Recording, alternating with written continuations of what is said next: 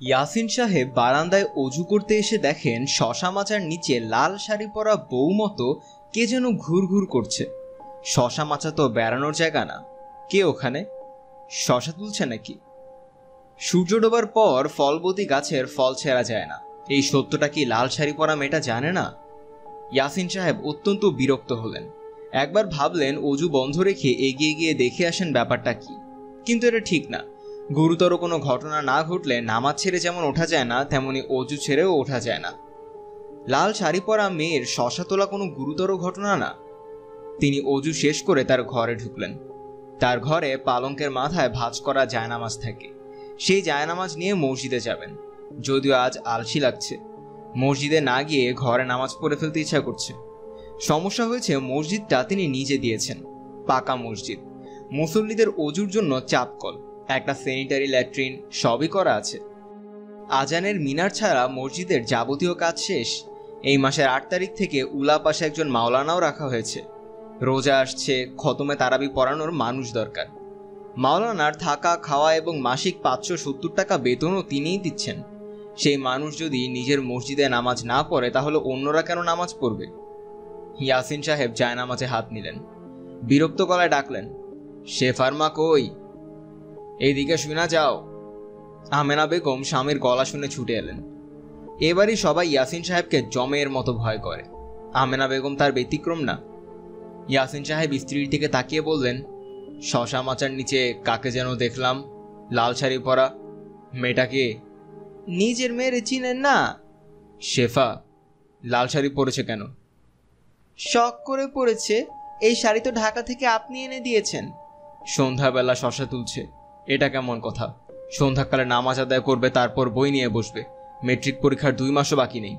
আমি মসজিদ থেকে এসে যেন দেখি সে বই নিয়ে বসেছে। আচ্ছা। তার মাস্টার কই রফিক? তাকে তো দেখি না। জুম্মাবার ছাড়া কোনোদিন তাকে মসজিদেও দেখলাম না। তাকে বলে দিবে আমার বাড়িতে যারা যারা জয়গাড়ি থাকে তাদের প্রত্যেকের মসজিদে গিয়ে নামাজ পড়তে হয়। এই নিয়মে কোনো ব্যতিক্রম হবে না। তুমি দেখো রফিক ঘরে আছে কিনা। আমি নিজেই আজ তার সাথে করে মসজিদে নিয়ে যাব। রফিক ঘরে নাই। গেছে কোথায়? ময়মনসিং গেছে। সন্ধ্যা ট্রেনে চলে আসবে। ময়মনসিংহ গেল কখন? আজ সকালে গিয়েছে। আমি কিছু জানলাম না কেন? শেফার মা শোনো আমার এই বাড়িতে যারা থাকে তাদের সবার সব বিষয় আমাকে জানাবে। কোনো কিছু গোপন রাখবে না। নামাজের সময় পার হয়ে যেতেছে। আপনি মসজিদে যান। ইয়াসিন সাহেব বিরক্ত মুখে মসজিদের দিকে রওনা হলেন। মসজিদের জন্য যে মাওলানা রাখা হয়েছে, তাকে তার একেবারেই পছন্দ হচ্ছে না।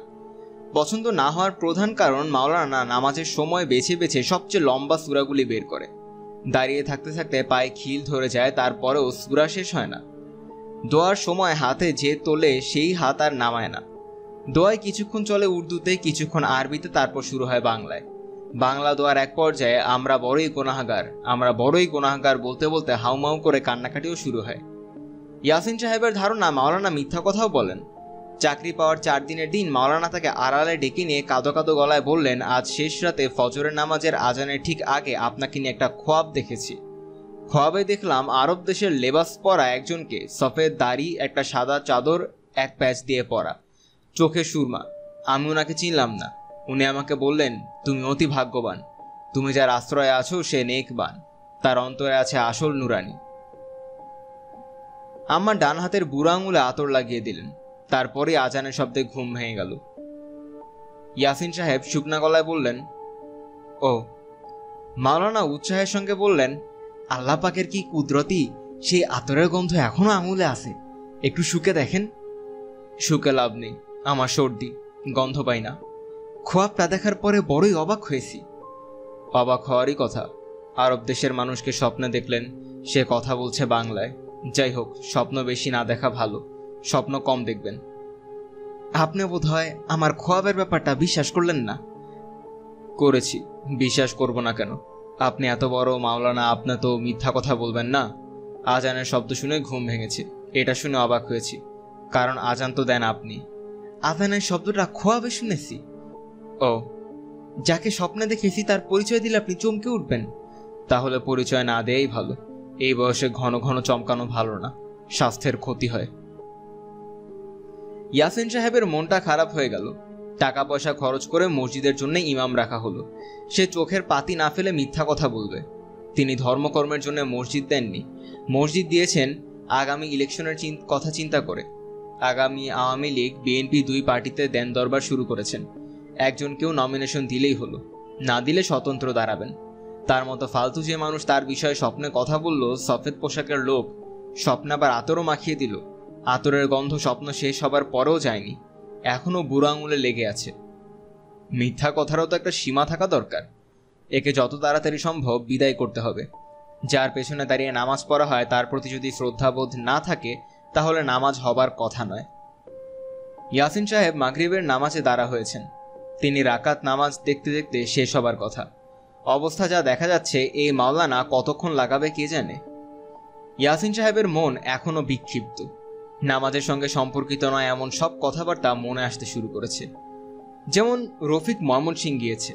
সে ময়মনসিংহ যাবে জানলে তিনি দুটা ইলিশ মাছ আনার টাকা দিয়ে দিতেন। গ্রামগঞ্জের বাজারে ইলিশ মাছ পাওয়া যায় না। ময়মনসিংহ ছাড়া গতি নেই। এই বছর ইলিশ মাছ খাওয়াই হয়নি। নতুন সরিষা দিয়ে ইলিশ মাছের ঝোলের কাছে জগতের কোনো খাদ্যই খাদ্য না। বেহেস্তের খাবার দাবার মধ্যে পরীক্ষা মাংসের কথা উল্লেখ আছে। ইলিশ মাছের ঝোলের কথার উল্লেখ আছে কিনা মাওলানা সাহেবকে জিজ্ঞেস করতে হবে।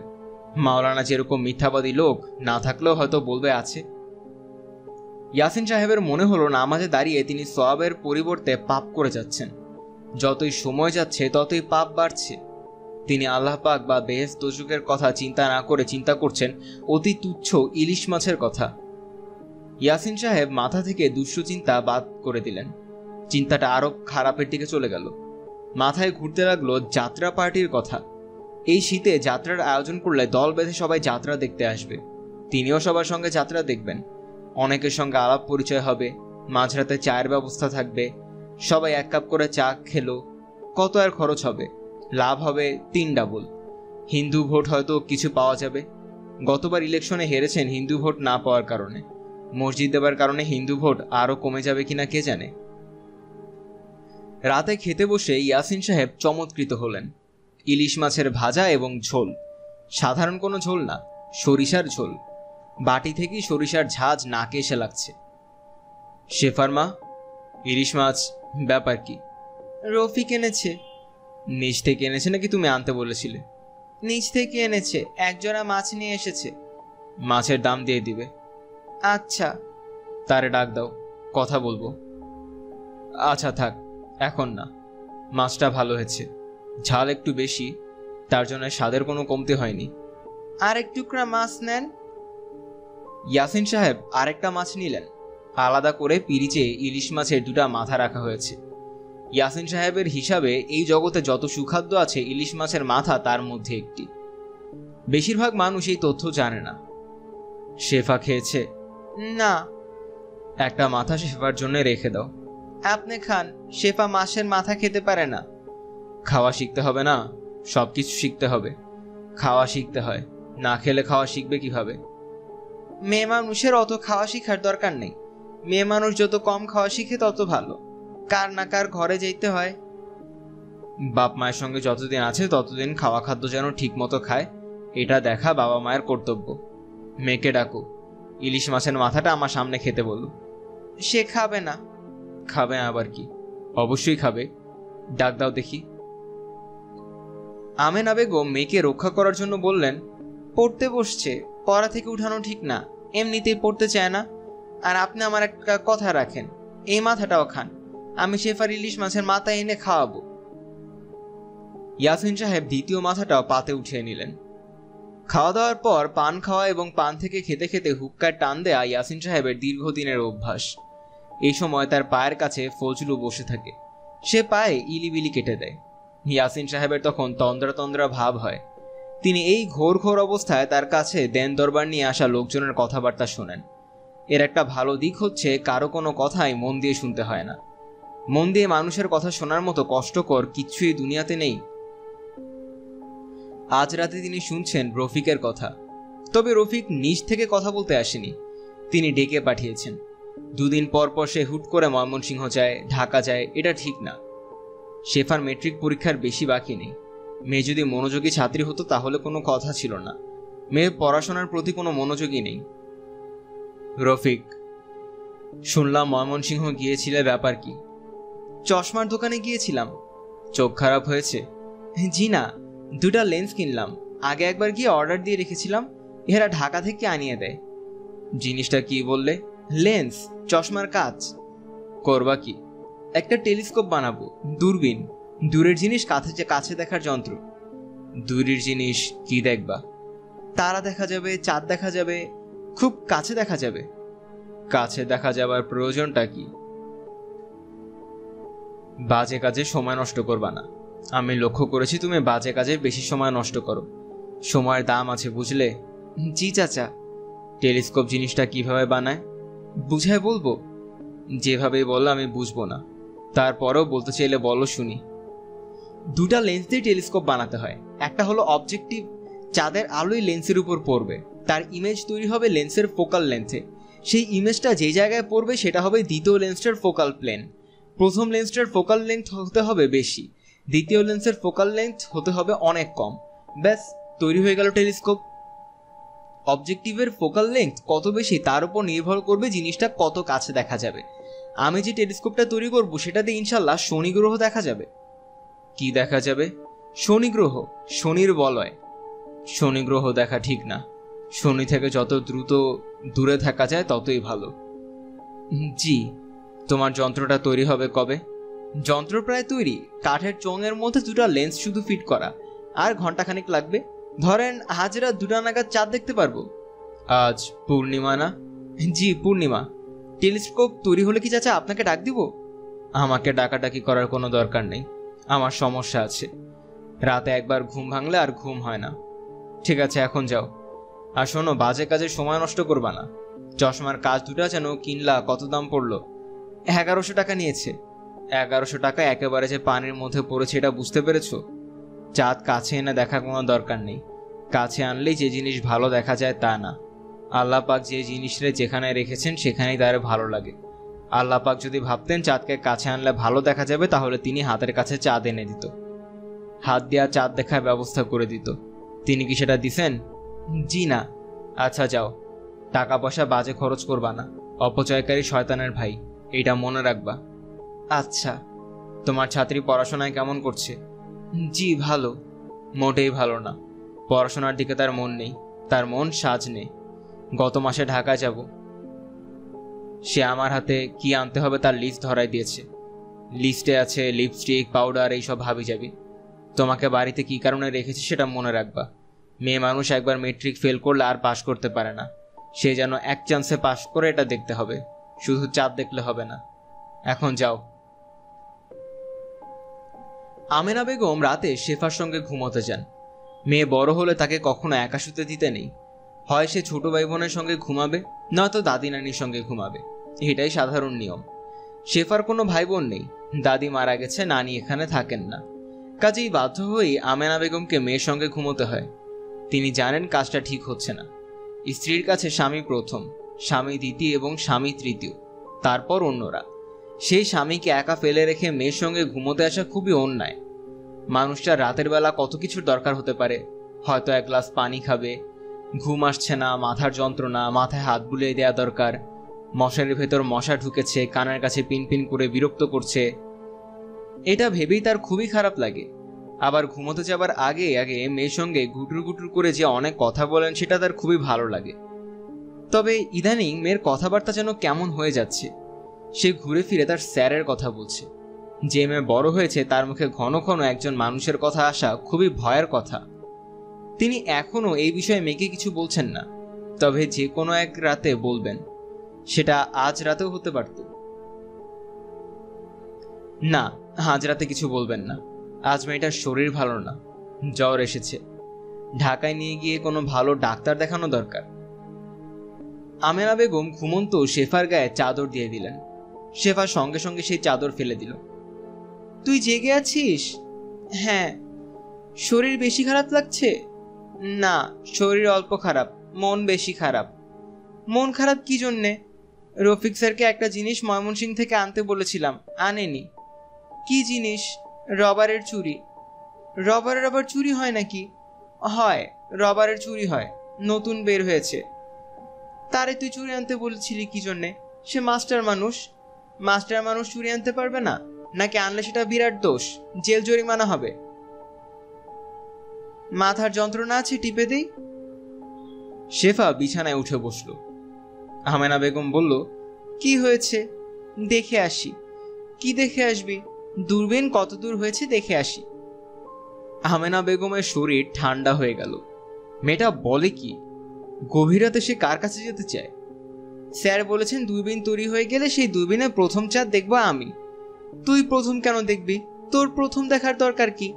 সেটা তো মা আমি জানি না। কে প্রথম দেখবে, কে দুই নম্বরে দেখবে, সেটা আমি ঠিক করিনি, স্যার ঠিক করেছেন। তুমি ওনাকে জিজ্ঞেস করে দেখো। আমেনা বেগম অবাক হয়ে দেখলেন শেফা তরতর করে বিছানা থেকে নামছে। এই মেয়েকে এখন আটকানো যাবেই না।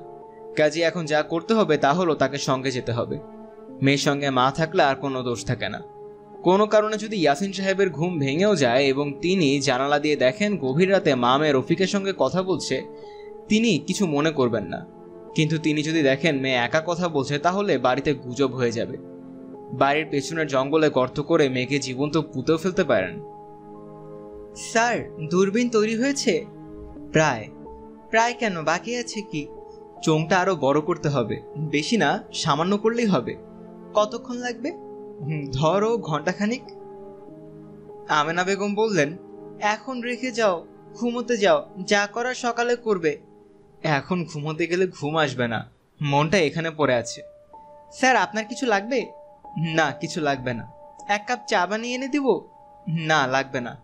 কোনো সাহায্য লাগবে? করার দিয়ে কাট কাটা কিংবা শিরিষ, কাগজ ঘষা। আমি করার দিয়ে খুব ভালো কাট কাটতে পারি। কোনটা কাটটা কাটতে হবে আপনি দেখিয়ে দিন, আমি চোখের নিমিষে কেটে দেব। কাঠ কাটতে হবে না, কাটাকাটির কাজ শেষ। এখন শুধু জোড়া দেয়া। আমেনা বেগমের বুক ধরফর করছে। মেয়ে এভাবে কথা বলছে কেন? সে এক দৃষ্টিতে তাকিয়েও আছে রফিকের দিকে। একবারও চোখ ফিরিয়ে নিচ্ছেন না। তিনি মেয়ের হাত ধরে তাকিয়ে নিয়ে ঘরে চলে এলেন। ব্যবস্থা নিতে হবে। খুব সূক্ষ্ম ব্যবস্থা। কেউ যেন কিছু বুঝতে না পারে এমন ব্যবস্থা। রফিককে বাড়িতে রাখা যাবে না। অসম্ভব ব্যাপার। শেফা বিছানায় শুয়েই ঘুমিয়ে পড়ল। আমেনা বেগমের ঘুম আসতে অনেক দেরি হলো। সেই ঘুমও ভালো হলো না। একটু পর পর ঘুম ভেঙে যায়। যতবার ঘুম ভাঙে, তিনি জানালার কাছে যান এবং দেখতে পান রফিক চোখ লাগিয়ে তাকিয়ে আছে চাঁদের দিকে। এই ছেলের কি ক্লান্তি বলে কিছু নেই? শেষবার জানালা থেকে ফিরে বিছানায় উঠতে যাবেন, শেফা বলল, মা, স্যার কি এখনও চাঁদের দিকে তাকিয়ে আছেন? তুই জানলি কীভাবে?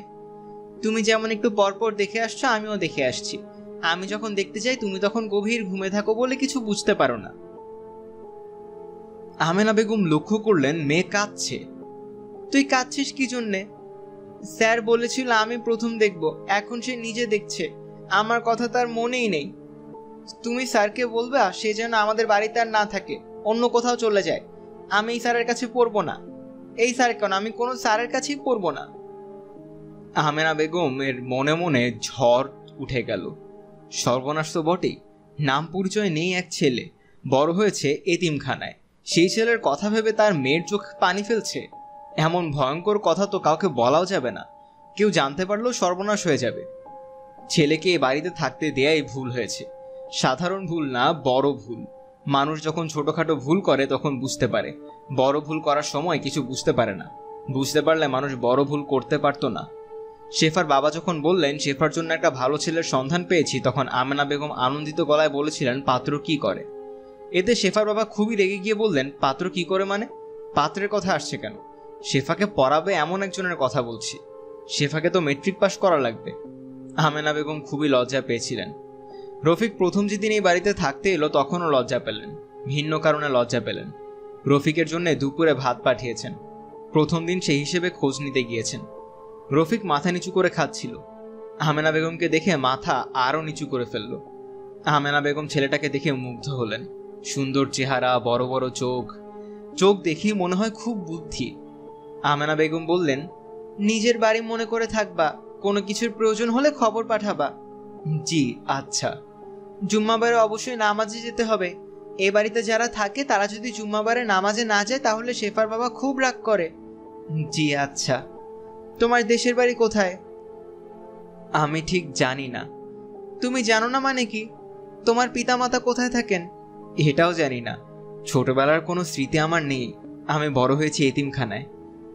আমেনা বেগম খুবই খুবই লজ্জা পেয়েছিলেন। শেফার বাবা যদি ছেলে প্রসঙ্গে এই কথাগুলো আগে বলে রাখতেন তাহলে তিনি রফিককে এ ধরনের কথা বলে লজ্জা পেতেন না।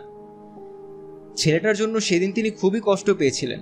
মনে মনে ভেবেছিলেন তোমার কষ্টের দিন শেষ হয়েছে। এই বাড়িতে তুমি আশ্রয় পেয়েছ, এখন আর তোমার চিন্তা নেই। আমেনা বেগম প্রথম দিন ছেলেটির প্রতি যে মমতা বোধ করেছিলেন, আজও সেই মমতা বোধ করছেন। তবে একই সঙ্গে তার বুক ধুকধুক কাঁপছে। তার মন বলছে, ভয়ঙ্কর এক সময় তার সামনে। তিনি তার মেয়েকে নিয়ে মহা বিপদে পড়তে যাচ্ছেন। আল্লাহ পাক সাহায্য না করলে তিনি এই বিপদ থেকে উদ্ধার পাবেন না। শেফা আরাম করে ঘুমোচ্ছে। মায়ের মানসিক যন্ত্রণার কথা মেয়ে কিছুই জানে না। আমেনা বেগম শেফার গায়ে হাত রাখলেন। শেফা বলল, ছটফট করছ কেন, মা? কি হয়েছে তোমার? ছটফট করতেছি তোরে কে বলেছে? কেউ বলেনি, বুঝতে পারি। মা, রফিক স্যার কি এখন উঠোনে বসা? হুম। চোখে দূরবীন?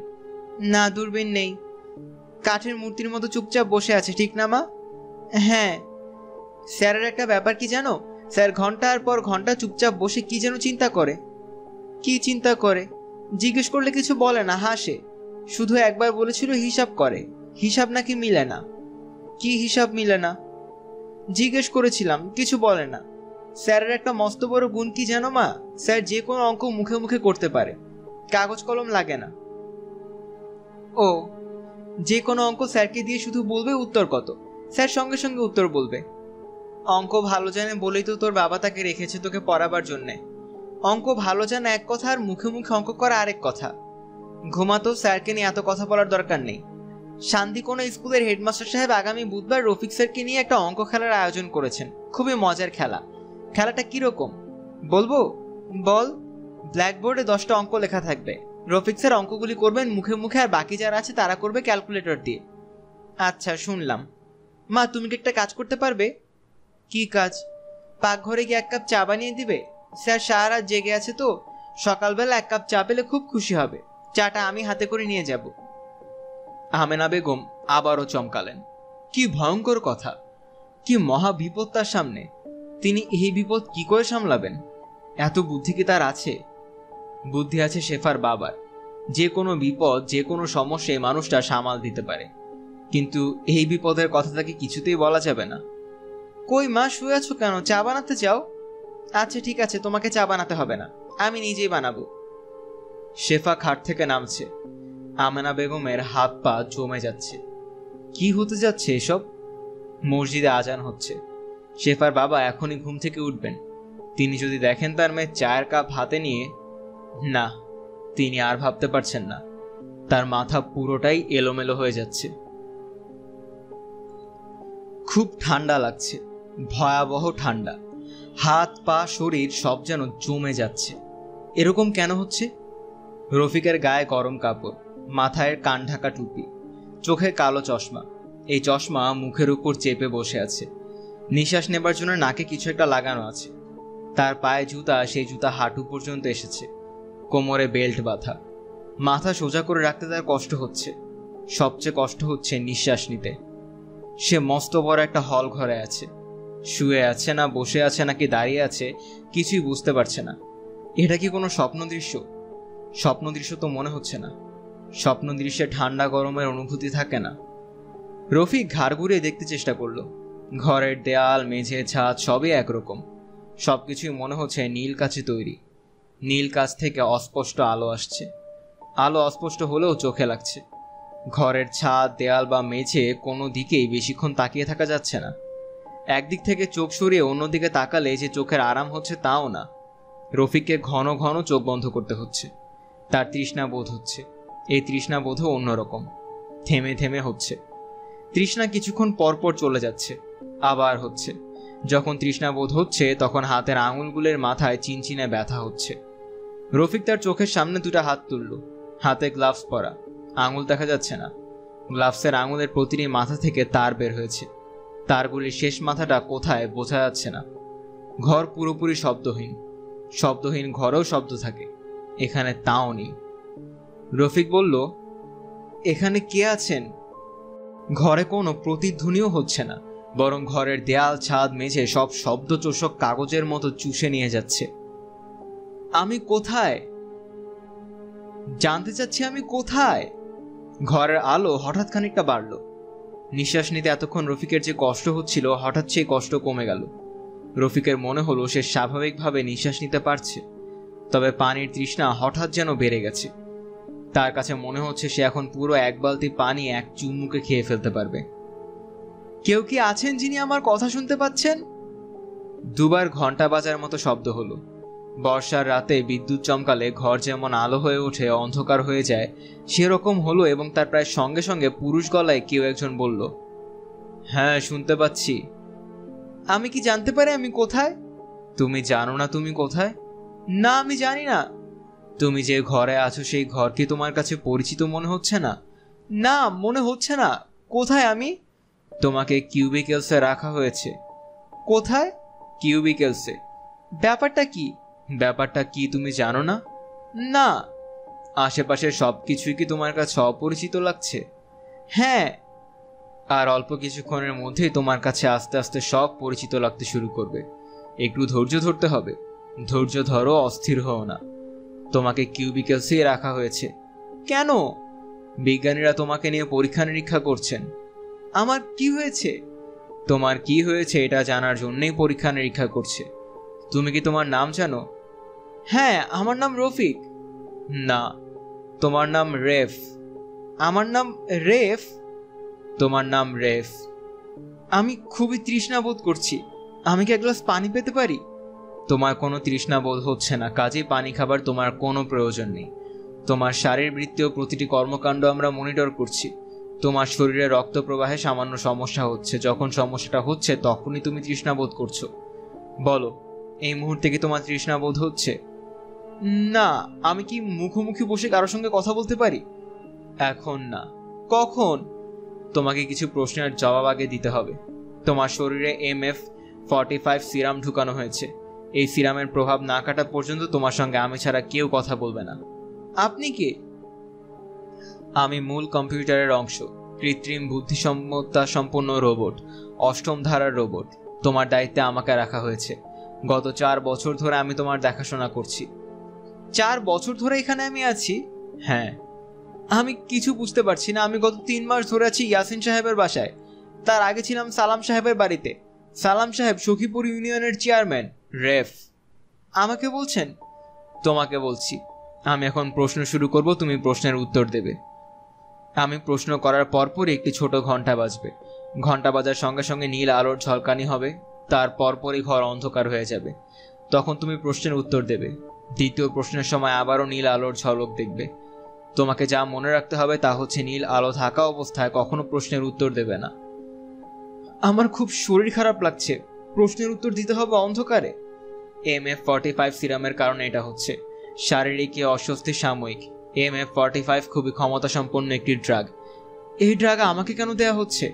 এই ড্রাগ তোমাকে দেয়া হচ্ছে যাতে তুমি সত্যি কথা বলো। প্রশ্নের সত্যি জবাব দাও। তুমি কি প্রস্তুত? আমার শরীর খুবই খারাপ লাগছে, কিন্তু আমি প্রশ্নের উত্তর দেব। প্রথম প্রশ্ন, তোমার নাম কি? আমি এই প্রশ্নের জবাব দিয়েছি। আবার জবাব দাও। আমার নাম রফিক। রেফ, নামটা কি তোমার কাছে পরিচিত মনে হচ্ছে? না। কিউবিকেলসের ভেতর তুমি জেগে উঠলে। জেগে ওঠার আগে তোমার স্মৃতি কি? তুমি বলছো তুমি রফিক। রফিক, তুমি এখানে জেগে ওঠার আগে কি করছিলে? চাঁদ দেখছিলাম। পুরো ঘটনা বলো। আমি একটা টেলিস্কোপ বানিয়েছিলাম। সেই টেলিস্কোপে চাঁদ দেখছিলাম। তোমার আশেপাশে কে ছিল? কেউ ছিল না, তবে রাত যখন কাটলো তখন আমার জন্য চা নিয়ে এলো শেফা। কি নাম বললে? শেফা। নামটা আবার বলো। শেফা। সে চা নিয়ে উপস্থিত হলো। জি, তুমি চা খেলে। জি, তোমাদের ভেতর কোনো কথা হয়েছে? শেফা খুব রাগ করল। কেন? কারণ আমি তাকে বলেছিলাম যে টেলিস্কোপটা তৈরি হবার পর তাকে প্রথম চাঁদ দেখতে দেব। তারপর ভুলে গেছি। এই নিয়ে রাগ করল। তারপর কি হলো? শেফার মা শেফাকে ডেকে ঘরে নিয়ে গেলেন। তুমি যে টেলিস্কোপটি তৈরি করলে তার ম্যাগনিফিকেশন কি তোমার মনে আছে? হান্ড্রেড প্লাস অবজেক্টিভ এবং আইপিসের ফোকাল লেংথ মনে আছে? আছে। বলব? না, বলার দরকার নেই। যে মেয়েটি তোমার জন্য চা নিয়ে এসেছিল তার নাম আবার বলো। তার নাম শেফা। ভালো নাম শেফালি। শেফালি বেগম থেকে শেফা। চা খাওয়া শেষ হওয়ার পর তুমি কি করলে? আমার ঘুম পাচ্ছিল সারা রাত জেগেছিলাম, ঘুমে চোখ বন্ধ হয়ে আসছিল। ঘুমোতে গেলাম, ঘুম ভাঙার পর দেখি আমি এই জায়গায়। তোমাকে যে এম এফ সেরাম দেওয়া হয়েছিল তার প্রভাব শেষ হয়ে আসছে। আমার প্রশ্ন উত্তর পর্ব এক্ষুনি শেষ হবে। শেষ প্রশ্ন, যে মেয়েটি তোমার জন্য চা নিয়ে এসেছে তার নাম কি? আমি অনেকবার এই প্রশ্নের জবাব দিয়েছি। আবার দাও। মেয়েটির নাম শেফা। তুমি কি আমার নাম জানো? তুমি বলেছ তুমি একটা কম্পিউটার। কম্পিউটারের মানুষের মতো নাম থাকে বলে আমি জানি না। কৃত্রিম বুদ্ধিসম্মতা সম্পন্ন কম্পিউটার যে রোবট বহন করে তার মানুষের মতো নাম আছে। আমার নাম শেফ। তোমার কি নাম বললে? আমার নাম শেফ। তোমার কাছে যে মেয়েটি চা নিয়ে গিয়েছিল তার নাম শেফা। তুমি কি এই দুটি নামের মধ্যে মিল দেখতে পাচ্ছ? পাচ্ছি। আমি আর আপনার সঙ্গে কথা বলতে পারছি না। আমার প্রচণ্ড ঘুম পাচ্ছে। ঘুমিয়ে পড়ো। আমার খুব পিপাসা পেয়েছে। ঠান্ডা পানি খেতে হবে। দয়া করে এক গ্লাস পানি খাওয়ার ব্যবস্থা করে দিন। তোমার কোনো তৃষ্ণা পায়নি তোমার রক্তে ইলেকট্রোলাইটের সামান্য অভাব হয়েছে। এম এফ সিরাম রক্ত থেকে ইলেকট্রোলাইট নিয়ে নেয়। তোমাকে বাইরে থেকে ইলেকট্রোলাইট দেওয়া হচ্ছে। এক্ষুনি তোমার তৃষ্ণা কেটে যাবে। তোমার খুব ভালো ঘুম হবে। চোখ বন্ধ করে ফেলো। বলো, একশো এক একশো এক, একশো দুই একশো দুই, একশো তিন একশো সাত পর্যন্ত এসে রফিক গভীর ঘুমে তলিয়ে গেল। সে কতক্ষণ ঘুমালো সে নিজেও জানে না। তার ঘুম ভাঙলো সন্ধ্যায়। শীতের ব্যাপারটি নেই, শরীর হালকা লাগছে। তার নাম যে রেফ, এটা এখন তার কাছে পরিষ্কার। দীর্ঘদিন ধরে তার চিকিৎসা চলছে, এ ব্যাপারটা সে এখন ধরতে পারছে। হাসপাতালে আসার আগে যে ছোট্ট ঘরে থাকতো, সেই ঘরের ছবিও চোখে ভাসছে। তার পেশা কি ছিল তা এখনও মনে পড়ছে না। তবে নিশ্চয়ই মনে পড়বে। মস্তিষ্ক জেগে উঠতে শুরু করেছে। পুরোপুরি জাগতে সময় লাগবে। সুন্দর সাজানো ছোট্ট ঘর, জানালার কাছে আরামদায়ক বিছানা। জানালা দিয়ে দূরের ঝাউবন এবং ঝাউবনের ফাঁকে ফাঁকে সমুদ্র দেখা যাচ্ছে। পাতা মোটামুটি স্থির, তবে সমুদ্রে প্রচুর ঢেউ। ঢেউয়ের আছড়ে পড়ার শব্দ শোনা যাচ্ছে। তার খাটের পাশে চশমা চোখে একজন বুড়ো মানুষ বসে আছেন। সোনালি ফ্রেমের চশমা তাকে সুন্দর দেখাচ্ছে। তিনি কিছুক্ষণ পরপরই চুলে আঙুল দিয়ে বিলি কাটছেন। এবং বিলি কাটার সময় হাসছেন। চুলে বিলি কাটা এবং হাসি দুটোই একসঙ্গে চলছে। বৃদ্ধ তার দিকে ঝুঁকে এসে বলল, রেফ, কেমন আছো? ভালো। ঘুম কেমন হয়েছে? ভালো ঘুম হয়েছে। শরীর কি ফ্রেশ লাগছে? লাগছে। তাহলে শুয়ে না থেকে উঠে বসো। জানালা দিয়ে বাইরে তাকাও। তোমার মন ভালো হয়ে যাবে। আজকে সমুদ্র অস্বাভাবিক নীল। তাছাড়া খুব ঢেউ হচ্ছে। সুন্দর লাগছে কিনা বলো? খুবই সুন্দর লাগছে। খিদে লেগেছে, কিছু খাবে? খিদে লেগেছে, কিন্তু কিছু খেতে ইচ্ছা করছে না। কফি খেলে কেমন হয় বলো তো? আমার কফি খেতে ইচ্ছা করছে। দু কাপ কফি নিয়ে আসি। কফি খেতে খেতে গল্প করা যাবে। রেফ কিছু বলল না। এক দৃষ্টিতে সমুদ্রের দিকে তাকিয়ে আছে। সি বিচে একটা মেয়েকে হেঁটে যেতে দেখা যাচ্ছে। মেয়েটির হাতে লাল ছাতা। মেয়েটি নাচের ভঙ্গিতে লাল ছাতা তোলাচ্ছে। রেফ এখন আর সমুদ্র দেখছে না। সে দেখছে মেয়েটাকে। কফি নাও। সে কফির কাপ হাতে নিল। একটা চুমুক দিয়ে বুড়ো ভদ্রলোকের দিকে তাকিয়ে বলল, প্রফেসর বার্ন, জানালা দিয়ে যে সমুদ্র আমি দেখছি, এটা তো একটা কৃত্রিম সমুদ্র, তাই না? হ্যাঁ তাই। কৃত্রিম তো বটেই। পর্দায় তৈরি করা ইমেজ। তোমার জানালার কাছে সমুদ্রের ইমেজ তৈরি করা হয়েছে। ইমেজটা নিখুঁত কিনা বলো? অবশ্যই নিখুঁত। কেউ বলে না দিলে কারও বোঝার সাধ্যই নেই। নকল সমুদ্র দেখছি। প্রফেসর বার্ন, বলো কি বলবে? কফি খেতে খুব ভালো লাগছে। ধন্যবাদ আপনাকে। আমাকে ধন্যবাদ দেওয়ার কিছু নেই। ভালো কফি বানানোর কোনো কৃতিত্ব আমার না। কফি মেশিন কফি দিয়েছে। তবে এই কফিও নকল। আধুনিক ফুড মেকার মেশিনগুলি অসাধারণ। নকল আসল বোঝার কোনো উপায় নেই। তুমি কি আরেক কাপ খাবে? জি না। আচ্ছা এই সেনিটোরিয়ামে আমার মতো রোগী কি আরও আছে? এই সেনিটোরিয়ামে অনেকেই আছে, তবে এক একজনের সমস্যা এক এক রকম। কারও সমস্যার সঙ্গে অন্য কারও সমস্যার কোনো মিল নেই। আমরা রোগীরা কি একই সমুদ্র দেখছি, নাকি এক একজন এক এক রকম সমুদ্র দেখছি? জানালা দিয়ে কে কি দেখবে তার রোগীর সাইকোলজিক্যাল প্রোফাইল দেখে তৈরি করা হয়। সবাই তো আর সমুদ্র পছন্দ করে না। কাজেই কেউ দেখছে অরণ্য, কেউ শহর দেখছে। আমার যদি এখন সমুদ্র না দেখে অন্য কিছু দেখতে ইচ্ছা করে আমি কি তা পারব? না, পারবে না। তুমি কি দেখবে, না দেখবে, তা তোমার দায়িত্বে নিয়োজিত রোবট ঠিক করে দেবে। তার কাছে তোমার পুরো ডিএনএ ম্যাপিং আছে। তুমি নিজেকে যতটা চেইন, এই রোবট তোমাকে তার চেয়ে অনেক ভালো চেনে। প্রফেসর, আমার বিষয়ে আপনার সিদ্ধান্ত কি? কোন সিদ্ধান্তের কথা বলছো? আপনারা কি আমাকে ছেড়ে দেবেন, না আরও পরীক্ষা নিরীক্ষা করবেন? বুঝতে পারছি না। আপনাদের পরীক্ষা কি শেষ হয়েছে নাকি বাকি আছে? শেষ হয়েছে। ফলাফল কি? আমার অসুখটা কি? আমরা তোমার অসুখের কোনো নাম দিতে পারছি না। আপাতত case study DA zero zero one এই নামে চলছে। তোমার স্বপ্ন সংক্রান্ত জটিলতা হচ্ছে। তুমি দীর্ঘ স্বপ্ন দেখছ। স্বপ্নগুলি সত্যি মনে হচ্ছে। তোমার মস্তিষ্ক ইলেকট্রিক্যাল সিগন্যালের ঠিক মতো প্রসেস করতে পারছে না। খানিকটা এলোমেলো করে দিচ্ছে। যে কারণে তোমার মস্তিষ্ক ধরতে পারছে না। কোন জগৎটি সত্যি? স্বপ্নের জগৎটি সত্যি না বাস্তবের জগৎটি সত্যি? এমন কি হতে পারে যে দুটি সত্যি? না হতে পারে না। কেন? একই সময়ে একটি বস্তু দুই জায়গায় থাকতে পারে না। সাব অ্যাটমিক পার্টিকেল কিন্তু এটা পারে। তুমি কোন সাব অ্যাটমিক পার্টিকেল নও, তুমি একজন মানুষ। রেফ কফির কাপ হাতে রাখতে রাখতে বলল, এখন আমার একটা প্রশ্নের জবাব দিন। আমি প্রশ্নের জবাব দেবার চেষ্টা করব। এখন তো আমি জেগে আছি। আমার সামনে আপনি বসে আছেন। একটু আগে কফি খেলাম। জানালা দিয়ে তাকিয়ে সমুদ্র দেখলাম। এটা কি স্বপ্ন না সত্যি? এটা স্বপ্ন না, এটা সত্যি। গায়ে চিমটি কেটে দেখো, ব্যথা পাবে। এত নিশ্চিত হয়ে বলছেন কীভাবে? নিশ্চিত হয়ে বলাটাই কি স্বাভাবিক না? আমরা তোমার চিকিৎসা শুরু করেছি তোমার স্বপ্ন সংক্রান্ত সমস্যার কথা জেনে। সমস্যার কোনো সমাধান আপনাদের কাছে নেই? না। আপনারা গত চার বছর ধরে আমার চিকিৎসা করছেন। হ্যাঁ চার বছরের কিছু বেশি। চিকিৎসায় যখন কোনো লাভ হচ্ছে না, তখন আমাকে ছেড়ে দিচ্ছেন না কেন? বিজ্ঞান কাউন্সিলের বিশেষ নির্দেশ আছে তোমাকে সার্বক্ষণিক পর্যবেক্ষণে রাখার। তাছাড়া মানসিকভাবে অসুস্থ রোগীকে স্বাভাবিকভাবে চলাফেরা করতে দেওয়া হয় না।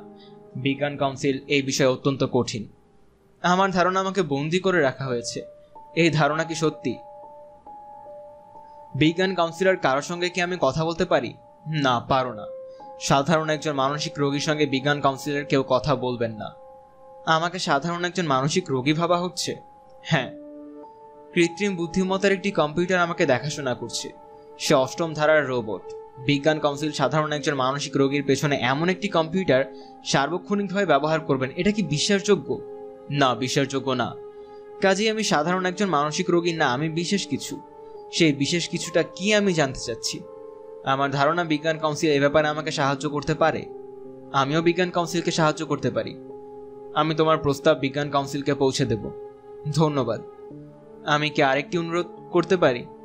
অবশ্যই পারো, তবে অনুরোধ রক্ষা করতে পারবে কিনা সেটা বলতে পারছি না। আমার ক্ষমতা সীমিত। আমি কি স্বপ্ন দেখি তা তো আপনারা জানেন। হ্যাঁ জানি। শুরু থেকে এই পর্যন্ত কি কি স্বপ্ন দেখেছি তা আমি জানতে চাই। আমার ফাইলটা আমি নিজে পড়তে চাই। মানসিক রোগীকে কখনো তার নিজের ফাইল দেখতে দেওয়া হয় না। নিয়মের ব্যতিক্রম কি করা যায় না? না, যায় না। রেফ বিছানা থেকে নামার সঙ্গে সঙ্গে ঘরটা লম্বাটে হয়ে গেল। জানালা অদৃশ্য। জানালার পাশে একটা খাট। খাটের ওপরে রাখা কম্বল সবই অদৃশ্য। এখন এটা আর ঘর না, লম্বা টানা বারান্দা। বারান্দা তৈরি হয়েছে তার হাঁটার জন্য। যতক্ষণ সে হাঁটবে ততক্ষণ বারান্দা থাকবে। গাছ ভর্তি নকল ফুল থাকবে, নকল সমুদ্র থাকবে। সে হাঁটতে হাঁটতে ক্লান্ত হয়ে পড়লে তার পাশে একটা চেয়ার তৈরি হয়ে যাবে। সে চেয়ারে বসে বিশ্রাম করতে পারবে।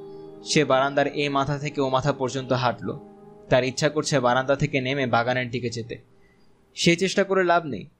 বারান্দা থেকে নামা যাবে না। তার চারদিকে কঠিন দেয়াল। দেয়ালে বাগান বা সমুদ্রের ছবি ভেসে উঠছে।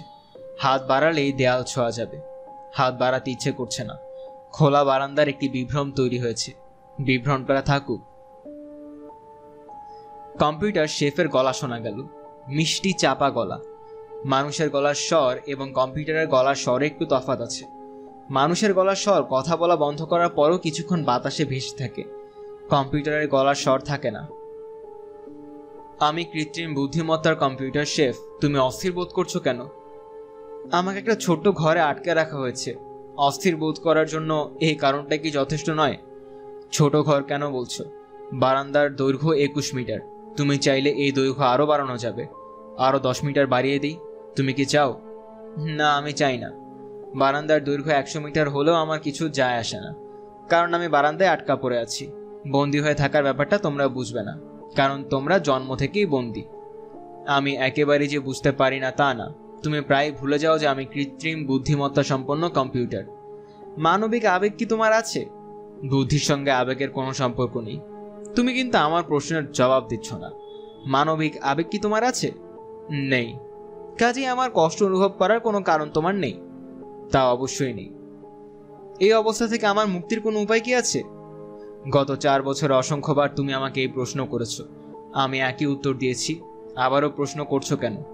প্রতিবারই প্রশ্ন করার পর মনে হয় হয়তো এবারের উত্তর অন্যরকম হবে। না, উত্তর অন্যরকম হবে না। বন্দি দশা থেকে তোমার মুক্তির কোনো আশা নেই। তোমাকে ঘিরে যে রহস্য তৈরি হয়েছে, সেই রহস্য ভেদ না হওয়া পর্যন্ত বিজ্ঞান কাউন্সিল তোমাকে মুক্তি দেবে না। তোমার রহস্যভেদ হবার আশা নেই বললেই হয়। অর্থাৎ বাকি জীবন আমাকে এখানে থাকতে হবে। নকল সমুদ্র, নকল বাগান দেখে কাটাতে হবে। হ্যাঁ তাই। সমুদ্র দেখে দেখে তুমি যদি ক্লান্ত হয়ে থাকো, তাহলে সমুদ্রের দৃশ্য বদলাবার ব্যবস্থা আমি করতে পারি। যদিও আমি জানি সমুদ্র ছাড়া অন্য কোনো দৃশ্য তোমার ভালো লাগবে না। তোমার সাইকোলজিক্যাল প্রোফাইল তাই বলে। আমি বাতাসের সঙ্গে কথা বলছি মনে হচ্ছে। কথা বলে আরাম পাচ্ছি না। ভালো লাগছে না আমার। তুমি চাইলে সামনে আসতে পারি। তখন তো তুমি বলবে যন্ত্রের সঙ্গে কথা বলতে ভালো লাগছে না। বাতাসের সঙ্গে কথা বলার চেয়ে যন্ত্রের সঙ্গে কথা বলা ভালো। রোবট শেফকে বারান্দায় আসতে দেখা গেল। কে বলবে সে রোবট? হাসি খুশি কিশোরী একজন, ছটফটে ভঙ্গি। সে বারান্দায় এসে প্রায় চেঁচিয়ে ওঠার ভঙ্গিতে বলল, রেফ, কেমন আছো? ভালো, চেঁচামেচি করার দরকার নেই। সহজভাবে কথা বলো তুমি মানুষের মতো হবার মতো অভিনয় করো, আমার মাথা থেকে কখনো যাবে না। যে তুমি রোবট ছাড়া কিছুই নয়। তুমি খুব ভেবেচিন্তে বলো, আমি কি বিশেষ কেউ? অবশ্যই। কারণ কি? কারণ একই সঙ্গে তুমি দুটি ভিন্ন সময়ে বাস করছ বলে ধারণা করা হচ্ছে। কীভাবে এটা সম্ভব হচ্ছে তা ধরা যাচ্ছে না বলেই বিজ্ঞানীদের ভুরু কুচকে যাচ্ছে। কোনো থিওরি দাঁড় করানো যায়নি? না। তুমি টাইম প্যারাডক্স তৈরি করেছ। এই টাইম প্যারাডক্সে অতীত, বর্তমান বা ভবিষ্যৎ বলে কিছুই নেই। হাস্যকর কথা নয় কি? বিজ্ঞান এর চেয়ে অনেক হাস্যকর ব্যাপার স্বীকার করে নিয়েছে। আধুনিক বিজ্ঞান একই সঙ্গে যুক্তি এবং যুক্তিহীনতার বিজ্ঞান। আপাত দৃষ্টিতে খুবই হাস্যকর মনে হয় এমন সব ব্যাপার বিজ্ঞানীরা স্বীকার করে নিয়েছে। বিজ্ঞান কাউন্সিল আমাকে নিয়ে শেষ পর্যন্ত কি করবে? খুব সম্ভব মেরে ফেলবে। তাদের ধারণা হতে পারে তোমাকে বাঁচিয়ে রাখা পরবর্তীতে অত্যন্ত বিপজ্জনক হতে পারে। তোমার ধারণা তারা আমাকে মেরে ফেলবে? হ্যাঁ। কবে নাগাদ তারা আমাকে মেরে ফেলতে পারে বলে তুমি মনে করো? যে কোনো সময় পারে। ঘটনা আজও ঘটতে পারে। তবে কাউকে মেরে ফেলতে হলে বিজ্ঞান কাউন্সিলের অনুমোদন লাগে।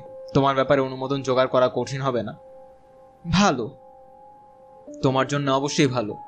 তুমি বন্দি অবস্থা থেকে মুক্তি চাচ্ছিলে। এছাড়া তোমার মুক্তির আর কোনো পথ নেই। তোমাকে খুব আনন্দিত মনে হচ্ছে।